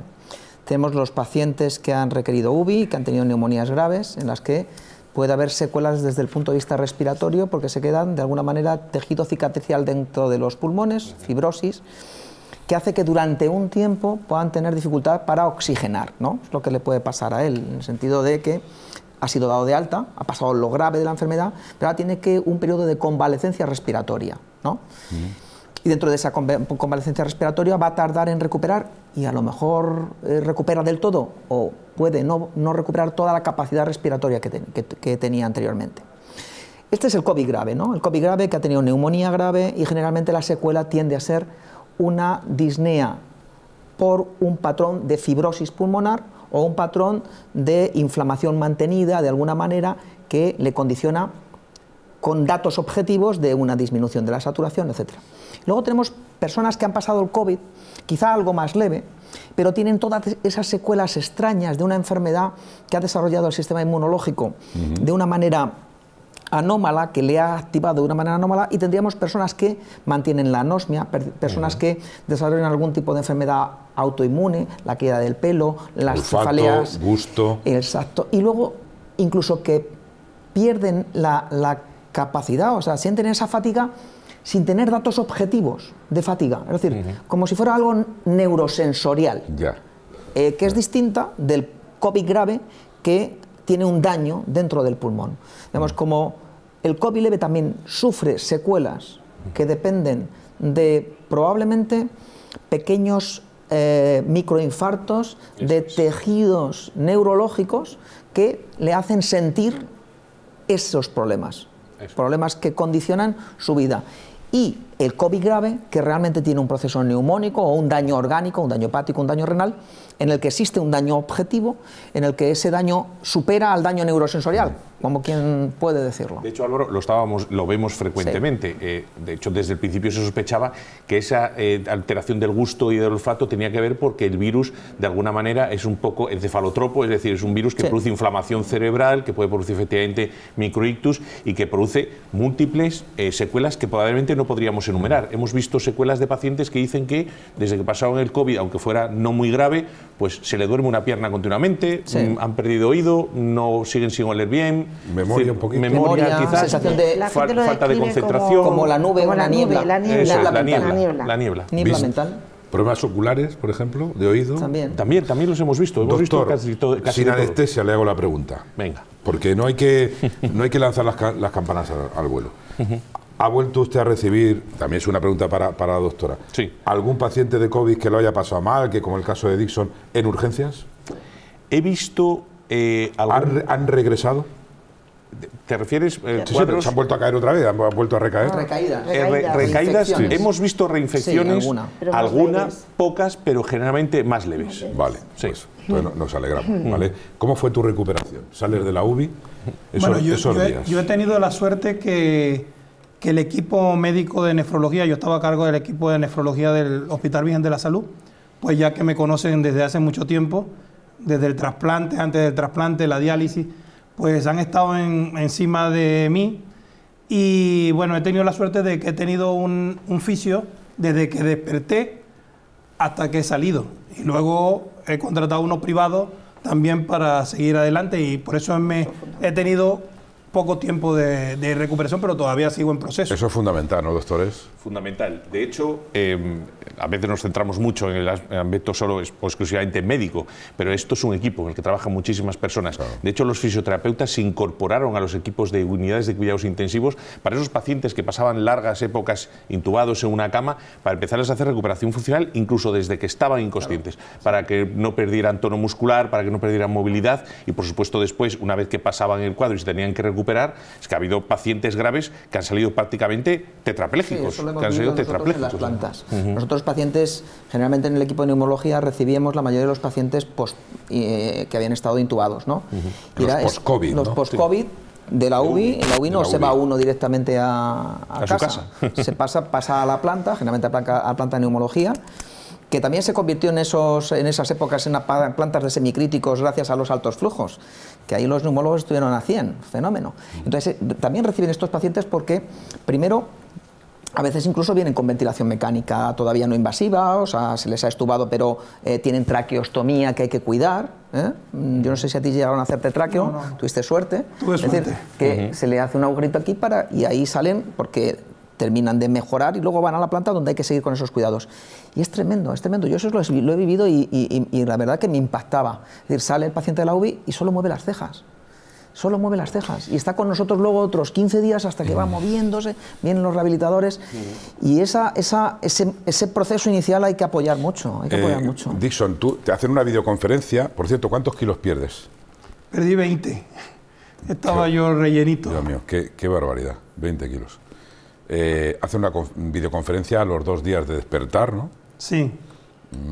No Porque, porque tuve algo muy curioso, Jesús. Sí. Que me despertaron y, y me quedé dormido ese día hasta el otro día. Que pensaban ya llevarme al Hospital Virgen de la Salud hacerme un TAC porque pensaban que me había dado algo. o- Sí. Porque me Y- dormí. y me, era que me volviste a dormir, ¿no? Y me, vol- me- me volví a dormir hasta el otro día por la mañana. Te ponen a tus hijos, a tus cuatro hijos, a los peques, ¿no? Y a tu mujer y, y no los conoces, ¿no? O sea, no, no estás, ellos te ven, pero tú no sabes. Claro, es que me acababan de despertar y entonces, claro, vamos a hacer una videollamada, porque tengo que decir que el equipo de parapléjicos se ha portado muy bien, pendiente de que la familia estuviera informada, Siempre llamaban han todos los días para dar el sí. parte, o sea, una atención especial y además de eso, pues que la familia estuviera informada en Es todo que, es momento que de... habéis estado solos. Es que todos los enfermos han estado solos en los hospitales, señores. Muy duro. ¿eh? Eso es durísimo, ¿no? Eso es estar solo y, y desgraciadamente otros que no están entre nosotros que, que- que se han despedido eh, en, aqu- pues en aquel último momento cuando entraban en urgencias, ¿no? Eh, ¿Cómo es tu vida ah, después del- de- del COVID? ¿Te ha cambiado la vida eh, en muchas cosas? ¿De la ves desde otra perspectiva? ¿Vistes es una pregunta que yo también te quiero hacer, ¿no? Que hemos conversado muchas veces. ¿Vistes, ¿Te viste a ti desde otra perspectiva estando en esos 30 días intubado y sedado? Pues sí, sí, que si vi la luz, no, no vi la luz. La luz del final del túnel, No. nada. ¿eh? No. Pero bueno, esto... ¿Pero qué sensaciones Hombre, te, te, deja esto? te cambia mucho la vida, ¿no? Eh, A mí me han cambiado dos veces, ¿no? En el trasplante, cuando me hicieron el trasplante, que era una operación delicada y que mucha gente rechaza y tienes ese miedo. Y luego con el COVID me ha cambiado la vida porque estaba a punto de, de fallecer y, y gracias al equipo médico y, y a los cuidados que he tenido, pues mira, puedo decir que estoy aquí y, y puedo decirlo, ¿sabes? Y te- repite mucho eso, doctora. Eh, los cuidados médicos, la atención sanitaria, eh, no, no estamos, no, ta- no estamos haciendo un programa sobre la, la sanidad en sí, sino en lo que ha sido este año para nosotros, ¿no? Y es verdad que esas cosas se quedan anónimas si no hablas con un enfermo y te cuenta que la atención ha sido muy directa, muy cercana. Quizá eh, los hospitales lo viven de otra manera porque el paciente está mucho tiempo, con el COVID ha estado mucho tiempo, pero al final va, se va del hospital, o sea, se va a su casa. El siguiente va a ser su médico de cabecera que está siempre ahí. Eh, por eso es importante que el la atención primaria, la ventaja que tiene es que conoce al paciente. Yo he tenido pacientes que han estado ingresados, que han estado en la UBI, que han estado en malas condiciones, la ha atendido, además era una paciente mía y le dije, esta es tuya, tienes atenderla. Y la atendió Álvaro. Y, es una paciente que ha llegado a su casa con mucho miedo, con mucha preocupación por el futuro y que yo creo que estamos impulsándola, la llamamos para que ella vea que hay que hay otras cosas que, se va a recuperar, que va a salir, que puede modificar su vida, que hombre, hay que adaptarse, eso es cierto. Todas las enfermedades, cuando ocurren, pues hay situaciones que te cambian y que tienes que adaptarte a esa situación que tienes en ese momento. A lo mejor no vas a volver a tener 18 años nunca, los tuviste una vez. Eh, pues las enfermedades son iguales, pero cambian. Pero eh, lo, que, lo que han dicho que han coincidido, que decía Dixon, yo tengo mi propio programa de recuperación post-COVID, eso es muy importante, ese lanzar ese mensaje, ¿no? Eh, ¿Qué recomendaciones haríamos, doctores, doctor Gregory, para lanzar ese, ese mensaje? Hemos pasado el COVID, algunos de una manera más grave, otros, bueno, aparte de que, de que la guardia la tenemos que tener siempre alerta, ¿no? Hay que estar alerta, porque esto luego lo hablaremos luego, ¿no? Pero mm, mm, hay una serie de programas y, de pautas que debemos de tener o deben de tener las personas que lo han sufrido. Sí, sí, claro, hay que hacer un poco una recuperación integral, que primero pasa efectivamente, eh, ha sido un trauma grave, un trauma no solo eh, físico, que lo ha sido, un problema grave físico, sino psicológico muy importante. Hay que apoyarse en la familia, en los seres cercanos y luego pues en los dispositivos que tenemos muchos en diferentes niveles, empezando por supuesto por el equipo de atención primaria, que es el más cercano, lo que te puede ir orientando y luego, bueno, pues dependiendo del paciente y también las patologías previas que tenía, pues pueden necesitar diferentes recursos, desde rehabilitación, eh, fisioterapia, incluso terapia cardíaca, porque hay pacientes que sufren cuadros cardíacos y, por supuesto, psicológicos. Doctor Moreno Ancillo, Hemos hablado de las secuelas, dispares, los casos, todos muy dispares, diversas patologías. ¿Podemos hablar de secuelas crónicas? Eh, llevamos poco tiempo de enfermedad, pero si nos eh, queremos referir a esta enfermedad como una enfermedad vírica... ¿Que se va a mantener en el tiempo? Que se va a mantener en el tiempo y que es un virus peculiar como otros, otras familias que ya conocemos, la familia del Epstein-Barr, la familia de virus herpes hay ciertos virus que son capaces de modular el sistema inmunológico y que sí que son facilitadores de enfermedad crónica. Entonces, podemos, podemos decir que algunos pacientes que han tenido COVID, por desgracia, sí que se van a convertir, como, se van a convertir en enfermos crónicos y que estamos en, aún todavía en, en, pañales con respecto a los conocimientos de esa enfermedad. Una pregunta para los tres, muy breve. Doctor Gregorio, empiezo por usted. Eh, ¿Qué ha descubierto? ¿Qué habéis descubierto sobre la enfermedad con el paso del tiempo? A ver. Es, muy genérica la pregunta, pero, pero ¿qué habéis descubierto del COVID? ¿Qué, sensación os deja el COVID? ¿No? Es decir, joder, ¿qué...? Pues yo creo que la sensación que nos deja es que eh, era un virus Desconocido. Desconocido, nuevo, que no teníamos muy claro cómo enfrentarnos a él, que hemos ido aprendiendo con el tiempo, que creo que nos queda mucho. ¿Y qué has aprendido? Que nos queda mucho. A lo mejor esa es la pregunta. ¿Qué pues has aprendido de esta enfermedad? Pues lo que hemos aprendido es em, que tenemos que tener probablemente mejores sistemas eh, de alerta, mejores sistemas de contención, mejores sistemas de detección de enfermedad y que la atención primaria es un pilar fundamental para tener control en ese tipo de enfermedades, el seguimiento y la posterior recuperación. ¿Qué se ha aprendido en la atención primaria del COVID? ¿Qué lección han aprendido? Pues hemos aprendido que el sistema le, teníamos, eh, le tenemos medio colapsado, que necesitamos más apoyo para situaciones como esta, pero hemos aprendido a que creo que lo hemos hecho relativamente aceptable para que nuestros pacientes tuvieran protección y hemos intentado, pues nosotros somos principalmente preventivistas. Mm. Nosotros intentamos prevenir las enfermedades. Entonces lo que hemos intentado es darles los consejos necesarios para que supieran qué medidas había que hacer, qué cosas había que hacer, porque no solo hemos tratado a los pacientes de COVID, hemos tratado también a los contactos del COVID, que no tenían enfermedad, pero intentábamos protegerlos de eso, dándole todas las normativas y todo el apoyo que era necesario. Muy breve, Álvaro, ¿qué ha aprendido el, alergólogo del hospital? hemos aprendido que estábamos enfrente de una nueva enfermedad eh, inmunológica. Hemos aprendido que hay que confiar en, la respuesta del, enfermo, porque eh, llevado a lo que es el, el, el paciente paciente, paciente que ha, ha estado un mes y hemos peleado por ese enfermo con todos los medicamentos porque teníamos confianza en que podía salir. En esos enfermos prolongados, de una enfermedad que dejaba enfermos prolongados que al final, que al final salían y que bueno, estábamos un poco eh, a ciegas y que aprendiendo sobre la enfermedad hemos podido dar eh, hemos resolver todos los problemas Respuesta. a dar respuesta al, al, al ¿Y virus qué de una manera lección se lleva Dixon?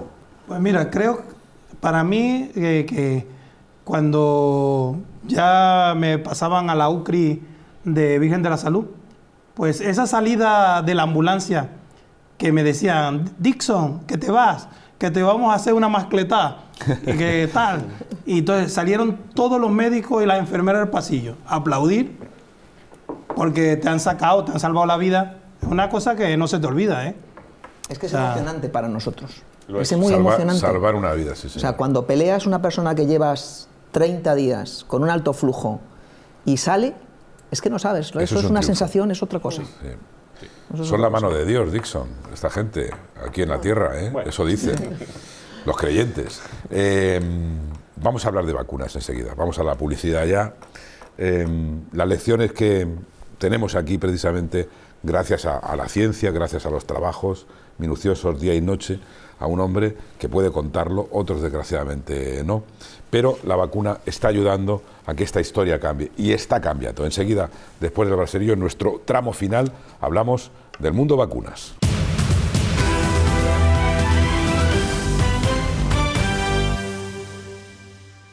Recta final de este resumen, un año de pandemia, con los doctores Gil Adrados, la doctora Ana Carmen Gil Adrados, con el doctor Joaquín Álvarez Gregory y con el doctor Álvaro Moreno Ancillo y la compañía también eh, inestimable, fantástica, de Dixon Bryan, un paciente de COVID, 30 días intubado, 30 días sedado, 30 días en ese infierno del COVID de una UCI que afortunadamente, bueno, pues está aquí con nosotros para contarlo, así de claro y, así de sencillo, ¿no? Dixon, tu vida eh, da un giro y además te dan un giro a ti, porque como decía el doctor, es la mejor manera de tratar a, a pacientes como es, como es tu caso, ¿no? Y ahora estás perfectamente, o sea, estás eh, Bueno, con las pequeñas secuelas, pocas, pocas La, secuelas. la- la carrocería está bien. Sí, Lo que pasa es el motor tiene algunos detallitos. mensaje, mensaje a la gente que todavía no se lo cree. Pues que esta enfermedad, primero que es rara y segundo que puede afectar a cualquier parte de- del cuerpo, o sea, no solamente los pulmones. Y bueno, que mira, eh, en especial los, los- los médicos que me han atendido, yo tengo que darle gracias, y el personal sanitario en, en- Sí. en su totalidad, ¿no? Porque los días que estaba consciente en, el- en la UCI, pues venían con esa alegría, con, con esa cercanía de darte ánimo, porque claro, sales de, de estar 30 días sedado, eh, con la preocupación de, de que no sabes si estás bien o estás mal, y, y te dan esa, esa cercanía, esa alegría, ¿no? Tú no sabes dónde te contagiaste, ¿verdad? O, o intuyes. Pues todos los que se han contagiado no saben dónde se han contagiado. Eso es verdad, verdad doctor, no, no se sabe Hombre, todavía. hay, hay veces que sí lo sabes, eh, porque ha sido en un entorno familiar o en un entorno laboral y más o menos puedes sospecharlo, pero efectivamente hay un porcentaje muy alto de personas que no lo saben porque volvemos a decir que hay un montón de portadores asintomáticos que no saben que están contagiando. Entonces cualquiera se puede contagiar. Muy importante, doctora, eh, recuerden, coordinadora, la que creó eh, en Talavera Ferial, con la ayuda del Ayuntamiento de Talavera, con la ayuda de Protección Civil, por cierto que han tenido ustedes, que Bueno, quería decirlo públicamente hoy, ¿no? Públicamente, efectivamente, porque Protección Civil nos, si nos ayudó, es que no sé dónde ponerlos. Para meter los coches en los para ayudarnos recintos, para, controlar a la entrada del, del ferial, para en- dirigir el tráfico de los coches, para dirigir a la- al personal, a las personas a colocarse en el sistema, porque en el ferial teníamos unos, unas sillas para que el paciente fuera eh, si- situándose, pero esas sillas las teníamos limpias, porque no sabíamos cuál era el enfermo, se limpiaban una a una y Protección Civil los dirigía a este, aquí, al otro. Si había un problema, los solventaban, eran capaces de ver que no estaba en el listado y te venían y te preguntaban, ¿este paciente qué pasa? uno de los espacios grandes de Castilla-La Mancha, de Talavera, de la provincia de Toledo, para eh, ahora vacunar, pero antes para detectar. Pero ojo, es que esto no se ha ido, es que el rastreo continúa. Los rastreos, es que esto a la gente a lo mejor le suena como diciendo, no, no, eso ya se ha pasado, no, no, no lo hemos pasado, no. Doctora, eh, cuando se detecta todavía un positivo, esto es muy interesante, a ver cómo lo puede explicar someramente. ¿Cuál es el protocolo a seguir a la hora del rastreo? Es decir, una persona en una familia de cinco o seis eh, miembros eh, da positivo.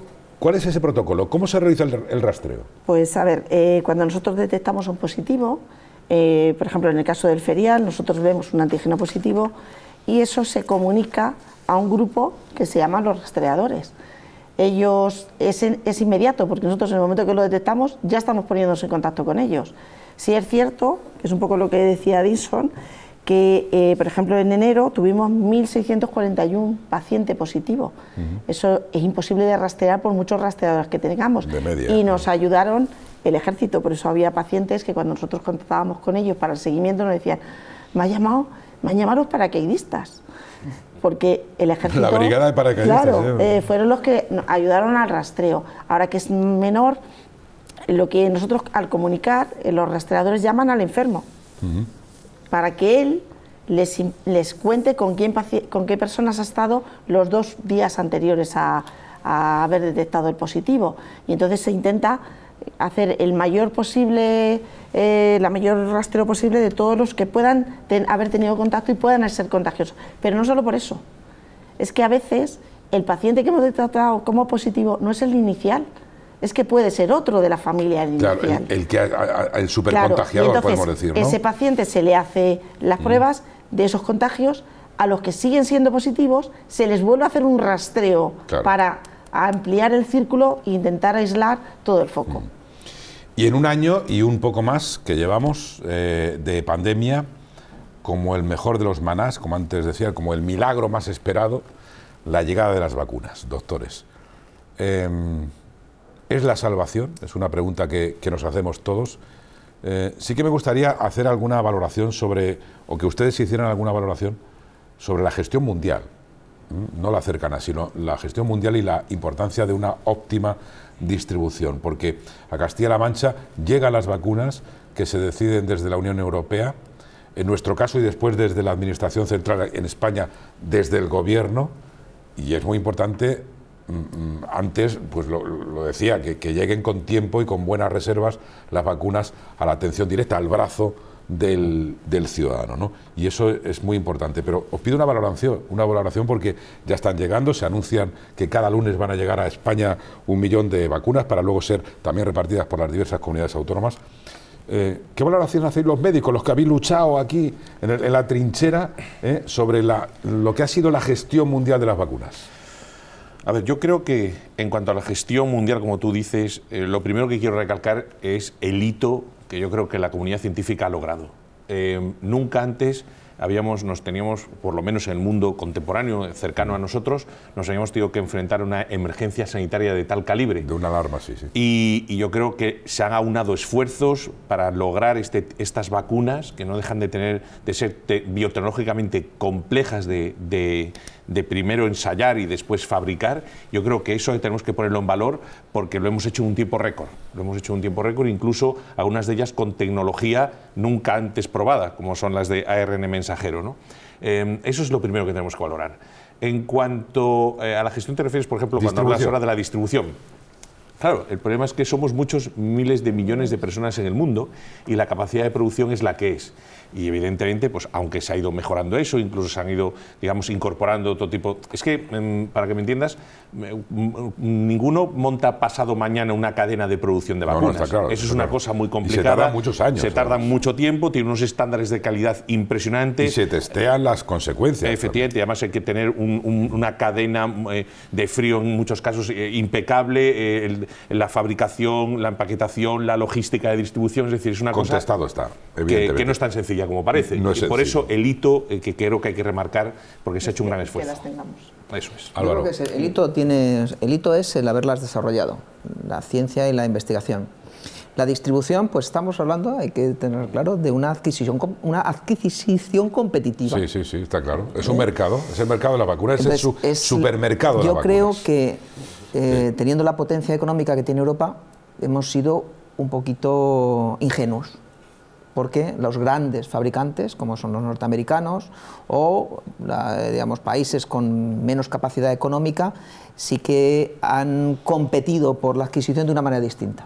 Creo que estamos en el momento de la llegada, con lo cual la capacidad del sistema sanitario para administrar es completa. Hombre, eso, eso si hay vacunas, lo vuelvo a decir. se ponen y Deje usted las vacunas en manos de las comunidades autónomas o de Castilla-La Mancha, que están vacunados al día siguiente. Pues, yo creo que ahora, fíjate, confío que este retraso en la, en la adquisición de las vacunas por parte de probablemente de un defecto europeo, no, no mm. español, eh, va a hacer que creo que llegaremos al objetivo de estar vacunados en verano. Fíjate lo que digo. creo que ahora se, van a poner eso es muy optimista el doctor. ¿Qué tiene que decir sobre esa valoración? Yo tengo claro que, que, mi reflexión es que cuando yo empezó esto y al principio soñaba con las mascarillas, luego soñaba con los antígenos. Respiradores. Los respiradores los soñaban más ellos, que eran los que veían las complicaciones. Yo en primaria lo que veía las mascarillas, las la PCR para hacer las pruebas, el poder seguir y atender a los crónicos que se me quedaban por ahí, y el siguiente paso eran las vacunas. Y ahora sobran en mascarillas enero, y sobran. En enero, cuando dijeron ya empezamos a vacunar,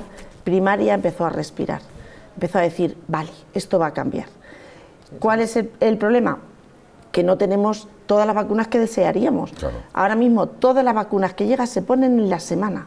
No sobra ni una. Se ponen todas. Y, tenemos días que nos sobran. O sea, que nos sobra tiempo, me refiero. O sea, que tenemos manos y tiempo para poder seguir poniendo vacunas, todos que nos lleguen. Doctor Gregory, concienciación a los tres también. La importancia de hacer llegar a, los ciudadanos que nos ven, a todos, un mensaje claro con el plan de vacunación. Eh, doctores, creo que esto es, muy importante. O sea, creo, eh, efectivamente, y ya si quieren enlazamos con mm. las personas que dicen que no que no están de acuerdo, eso es lo que los negacionistas, los que tienen miedo, los que quizá por una cuestión o por una desinformación ¿Vale? Quizás. Eh, bueno, evidentemente cada uno al final cree lo que quiere y al final toma una actitud eh, libre y el que no quiere vacunarse, pues bueno, yo creo personalmente, y además así miro a cámara y se lo digo, creo que se está usted equivocando, creo que debería vacunarse, porque además es muy claro y, les voy a dar un dato que es muy revelador. Yo que soy médico de urgencias, como hemos dicho todo el programa, y que recibo pacientes que entran en, urgencias eh, todos los días, les puedo garantizar que desde que el grupo de edad mayores de 80 años se vacunaron, apenas he vuelto a ver otro paciente de ese grupo de edad, no voy a decir grave de otras cosas, casi también, pero no he vuelto a ver un enfermo de COVID grave mayor de 80 años desde que empezó la vacunación en ese grupo de edad. El dato creo que es suficientemente claro y habla por sí solo. Em, señores, mm, las vacunas no son perfectas como ningún medicamento todos pueden producir ciertas reacciones adversas, son así. De hecho, se producen miles de reacciones adversas al día en Europa por medicamentos, unas más graves y otras menos graves.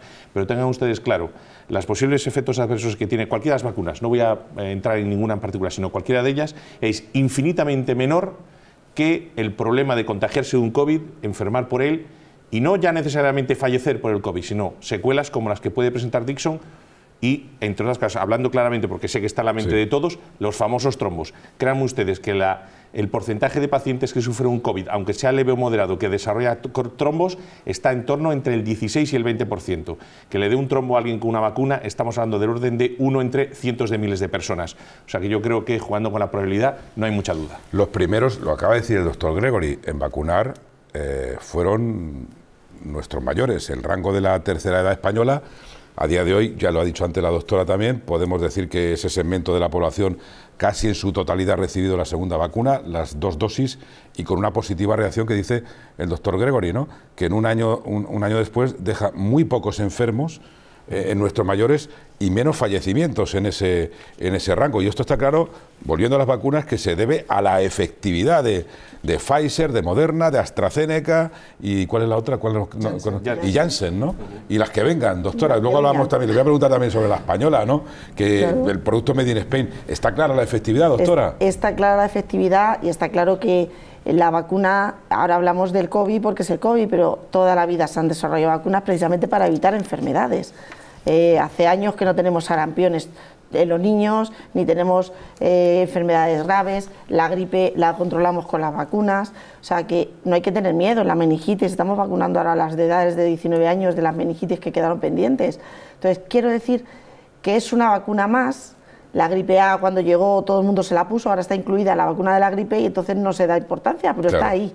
Eh, pues esta será una vacuna que se integre con las demás. Aclárenos, doctor Moreno, eh, Ancillo, em, cosas importantes a tener en cuenta sobre la, inmunidad.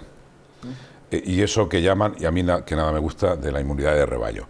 De rebaño. Explíquenos, ¿cuándo se llegaría en España a ese grado de inmunidad? ¿Usted avanza, usted es optimista sobre que en agosto podríamos tener ya un caso interesante, ¿no? Pero, sí, porque ¿Qué pensamos de la ¿Qué piensa usted de la, inmunidad? ¿Qué, luz nos puede dar? Desde, desde, luego, eh, la inmunidad de rebaño se va a adquirir cuando haya un gran porcentaje de la población. Yo estimo que alrededor del 65-70% de la población tenga anticuerpos, anticuerpos o inmunidad celular frente al virus. Eso incluye a los vacunados y a la gente que haya sufrido la enfermedad y que sabemos ya que al menos durante ocho meses va a mantener una, una, capacidad de respuesta, va a mantener anticuerpos e inmunidad celular frente a la enfermedad. Es decir, que ese rebaño eh, que lo vamos a conseguir probablemente cuando ese 60-70% de la población tenga eso, depende sobre todo de la inmunización de las vacunas. Doctor, las teorías esas que yo he escuchado y, se han escuchado en algunos foros sobre que a lo mejor eh, la población más joven de menos de 30 años Si hubiera tenido un gran contagio, que no hubieran ido tampoco a, los hospitales porque tampoco se les está ingresando ¿no? a los menores de 30, 29, de, 29 para abajo, ¿no? ¿qué hubiera ocurrido, por ejemplo, si hubieran, si hubieran tenido esa, ese supercontagio? Bueno, yo creo que... Es un poco complejo el asunto. Es, complejo y yo, en cierto modo, me, he posicionado... Hay teorías sobre esto. Es decir, a ver... Em, Vamos a ver, para que lo entienda la gente, que no hubieran contagiado a sus mayores o a los abuelos. No, si, hubiera, si por ejemplo, en una isla aislados a todos juntos, eso es imposible, sería perfecto. pero es imposible. Es, Hubiera sido lo ideal. Esa estrategia, muy breve, esa estrategia muy breve. es la que sí que se pensó y la que inicialmente se pensó en el Reino Unido, ¿no? Bien llevada, o sea, si fuéramos capaces de aislar a esa población del resto, sería una idealidad, porque bueno, eh, sabemos que sufren un COVID. Se habló en Inglaterra de haberlo hecho así. Eh, ellos lo hicieron, lo que pasa, y los suecos. Entonces, a los suecos ahora con los datos al final no les está saliendo tan mal. Datos finales, ¿no? De año. Pero eh, sería una estrategia, hubiera sido una estrategia donde la colaboración con la población general hubiera sido muy difícil. Pero esa estrategia se podría haber también implementado si hubiéramos tenido vacunas de forma masiva y vacunas como los norteamericanos. Podrías haber eh, dejado a esa población de bajo riesgo exponerse y eh, vacunar masivamente a sus contactos, a sus padres y a sus abuelos. Como eso no lo puedes manejar porque sería eh, limitar sus libertades, al final tienes que ir eligiendo una estrategia. Doctor, y porque tenemos 17 comunidades autónomas. bueno, también es eso. En España, que eso, es un problema. Señores, hay que ser cautos y estar alerta porque el virus continúa, es decir, la importancia de no relajarse. El miedo a vacunarse, vuelvo ahí. Eh, mm, la aparición de algunos casos entre millones de vacunados, ya lo decía el doctor Gregory en el mundo, ha hecho tenerle respeto, sobre todo incluso también en, en la población femenina, curiosamente porque los casos también aquí en España existían, eran precisamente y curiosamente y paradójicamente entre profesoras, ¿no? Eh, las que se, se, les vacunaba, efectivamente, era, pero eran las profesoras, pero por ejemplo, bueno, nos ha conocido, se ha conocido un caso de un militar español, nos ha conocido casos de policías, por ejemplo, o de bomberos, o de otro, bueno, y, de ustedes, dentro de ustedes tampoco, tampoco ha habido muchos casos, ¿no? Pero, ¿qué sabemos? ¿Qué avances en el diagnóstico le llegan sobre los casos graves que se han presentado, doctor? Muy pocos, como digo, en España, y muy pocos en comparación, como vuelvo a decir, como usted ha dicho, con las millones de dosis inoculadas. Efectivamente, vamos a ver. Como decía anteriormente. ¿Qué está pasando con esos casos? Bueno, como decíamos anteriormente, en efecto, pues no hay fármaco inocuo, la vacuna es otro fármaco más, es otro producto biológico que hemos fabricado y que como todos efectos, puede, eh, como todos los fármacos, pues pueden tener efectos más o menos graves. En el caso de, unas vacunas, que es la que más ha saltado un poco a, la esfera pública por el tema de los, famosos trombos, bueno, sí se sabe eh, que parece ser que, en algunas personas, generalmente más jóvenes que, mayores, pues bueno, hay una especie de, como nos hablaba antes algo que esto es una enfermedad inmunológica, pues hay una especie de reacción inmunológica, se produce una activación de una cosa que se llama factor plaquetario 4, eso hace que como que, se activen las plaquetas cuando tienen que activarse, se agregan, hacen como grumos, y entonces, pues bueno, eso viaja y efectivamente pues puede, puede crear algún trombo. Em, bueno, eh, eso es así, eh, te puede dar un efecto secundario un paracetamol, cualquier otro, cualquier otro fármaco, ¿no? Yo creo que sí, cualquier pastilla, nadie. Efectivamente. Doctor, nadie, nadie, preguntaba por la Viagra, ¿no? Los efectos. Por, ejemplo, por, ejemplo, de la misma más lejos. ¿Qué tenemos que hacer, hombre? Pues tenemos que estar como en todo, igual que en el COVID, tenemos que estar vigilantes. Y si usted es una de esas personas que ha recibido una dosis de esa vacuna y sabemos que más o menos esto, si ocurre, que vuelvo a decir que es una casuística mínima, ocurre generalmente entre, entre el quinto y el decimoquinto día más o menos, pues vigíese usted si empieza a tener pues, un cuadro de una cefalea extraña, pues, eh, o empieza a tener hematomas espontáneos, bueno, algún tipo, otro tipo de cosas, pues acuda usted a su médico más cercano, que tenemos pues ya unos ciertos protocolos, unos ciertos conocimientos sobre el manejo de esta complicación. Dixon, a ti no te han vacunado, pues, eh, em, no, no, habéis recibido la vacuna después de, haber sido... Sí, porque tengo eh, un grado de inmunidad alto. Sí. Y claro, bueno, eh, hay que esperar seis meses. ¿Y eso está ocurriendo así? O sea, esperan seis meses, ¿no? Las personas que han tenido... Eh, al inicio de las vacunas no se contemplaba esa opción, se vacunaba a todo el mundo, lo hubiera pasado, no lo hubiera pasado, si le correspondía a su edad. Pero ahora se ha visto que realmente tiene una inmunidad alta y, hombre, yo creo que también incluso por economía de vacuna, para poder ponérselo al que realmente no lo ha pasado, no lo tiene, se está intentando que estos pacientes que tienen inmunidad no, se les, no es que no se les vaya a vacunar, se les vacunará pero cuando pase un periodo de tiempo. Eh, y, se está comprobando que son efectivas, porque claro, la población, pero eso sí, la población quiere tener mm, quizá programas de estos todos los días que se hubieran hecho en las cadenas de televisión, pues habían dado más información, hubieran abierto más luz con los especialistas, ¿no? Porque también hablamos de tipos de vacuna. ¿Qué hablamos de la española, eh, doctor Moreno? pues ¿Qué se sabe? Dice que va a ser buenísima, que va a ser... que Mm, eh, el, método de, administración ya nos orienta a dos cosas muy buenas, que puede ser actuar de forma local, es una, vacuna que se puede utilizar por vía tópica nasal, y, además los datos que se ofrecen con respecto a este tipo de inmunización es que puede tener la posibilidad de evitar la transmisión, que eso es lo que se sugiere que la pondría por encima del resto de las vacunas. ¿Se sabe para cuándo? sea, yo, yo vuelvo a ser optimista con esto y yo eh, espero que probablemente en el primer trimestre del año que viene esté. Muy breve. Volvemos a las noticias, ante esas noticias que, que vienen acompañadas de siniestras conspiraciones, señores, ante las faltas de noticias, pues la gente se coge el WhatsApp y lee falsas noticias de casos que producen de todo y más. Ante ese otro virus que es la desinformación, una valoración, una reflexión de los tres y ante el propio negacionismo de, personas que optan por no ser vacunados y que además lo acompañan con otros pensamientos y, y fundamentos. ¿Qué tienen que decir los profesionales que, por cierto, han sido los primeros en vacunarse? Pues hombre, lo que está claro es que no puedes obligar a nadie y sus ideas son difíciles de, quitar porque tienen una estructura que es complicada, pero lo que está claro y la evidencia está ahí y la pueden ver todos los días, lo hemos visto en la televisión, la gente que entra en el hospital, las estadísticas de fallecimientos, todo eso está ahí. O sea, no puedo negar la realidad, el virus mata, ha matado a mucha gente y la vacuna está salvando. Hemos dicho, como Gregory, como lo veo yo, tenemos mucho menos contagio y la gente mayor no se nos está poniendo mala, que son los que están vacunados. Luego, la vacuna está funcionando. Esa es la idea. Mm. Bueno, os podría preguntar luego también muchas experiencias personales ¿no? que podríais habernos contado, resumirnos eh, de este duro, complicado y grave año de, pandemia. ¿no? Antes os, he preguntado qué habéis aprendido, ¿no? pero personalmente, Gregory, doctor, eh, personalmente con todo lo que se está viviendo, todo lo que ha vivido, con, con, qué momento, con qué día especial se queda, con qué secuencia de lo que hemos hoy resumido. Son muchos. Muchas emociones también. Eran días difíciles, era de... A mí, recuerdo, yo tengo grabado, igual que Carmen decía antes, el día 14, yo tengo grabado el, el primer lunes que era creo 16, puede ser, 16. Sí, si era 15. 15 fue sábado, 16 domingo, 17. 17. Em, me dio absoluto pavor salir de mi casa y no encontrarme a nadie. Vacío. ¿no? Eh, coger mi coche debajo de casa e irme hasta el hospital, que apenas vivo a cuatro kilómetros, El y no silencio, cruzarme con nadie. Un silencio sepulcral. Era un silencio duro, ¿verdad? Sí, exactamente. Pájaros, era un es. silencio Era un silencio doloroso. doloroso. Y llegar al hospital era doloroso por lo que vivías, eh, volver a casa era doloroso por lo que habías vivido y por el miedo que tenías de no contagiar a la gente de tu casa, porque es que no sabías cómo te contagiabas todavía.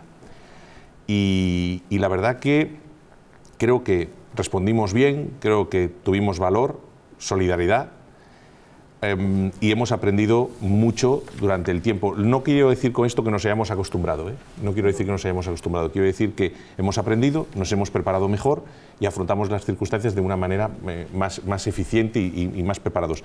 Pero un mensaje que quiero lanzar es que yo también soy optimista, Álvaro, y yo creo que va a ir a mejor y creo que vamos a vacunar ahora mucho más rápido, pero la gente tampoco tiene que llevarse la falsa idea de que el COVID se va a acabar pasado mañana. No va a ser así. ¿Y, y cuál es la escena de- de- de- del doctor Álvaro Moreno Ancillo? Pues tengo varias. Tengo la, tengo la cara grabada del primer mm, paciente de 56 años que no pude salvar. Lo tengo aquí, y eso lo tengo de siempre. Igual que tengo las caras de todos los que pude ayudar. Y un día especial en la que tuve que actuar, estando de guardia, sobre un... un- lo peor que tiene cuando tienes un paciente, eh, si además tienes cercanía, ¿no? Cuando tuve que actuar sobre un compañero que salía de la UBI, un compañero del servicio de urgencias, y que yo ahí tuve que tomar una decisión sobre su tratamiento. Por suerte fue una decisión acertada y esa presión que tuve, eso lo tengo aquí también grabado. Cada vez que lo veo, lo miro con mucho cariño. ¿Y Dixon, como paciente? ¿Con qué escena se queda? ¿Con qué momento? ¿Con el de volver a la vida, por ejemplo? Pues sí, ese, ese cuando me despertaron, que claro, ya sabía, sabía que estaba grave, pero no sabía ni dónde estaba, ni y claro, eso te emociona mucho. Y luego también te vuelvo a decir, el trato de los Sí, sí. médicos, de los médicos Está súper agradecido, ¿eh? lo estamos no, no, constatando. el trato de los médicos que ha sido excepcional.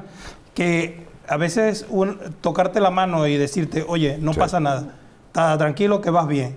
Pues eso vale mucho. Dios vale mío, oro. cuánta- cuántas manos de enfermeras.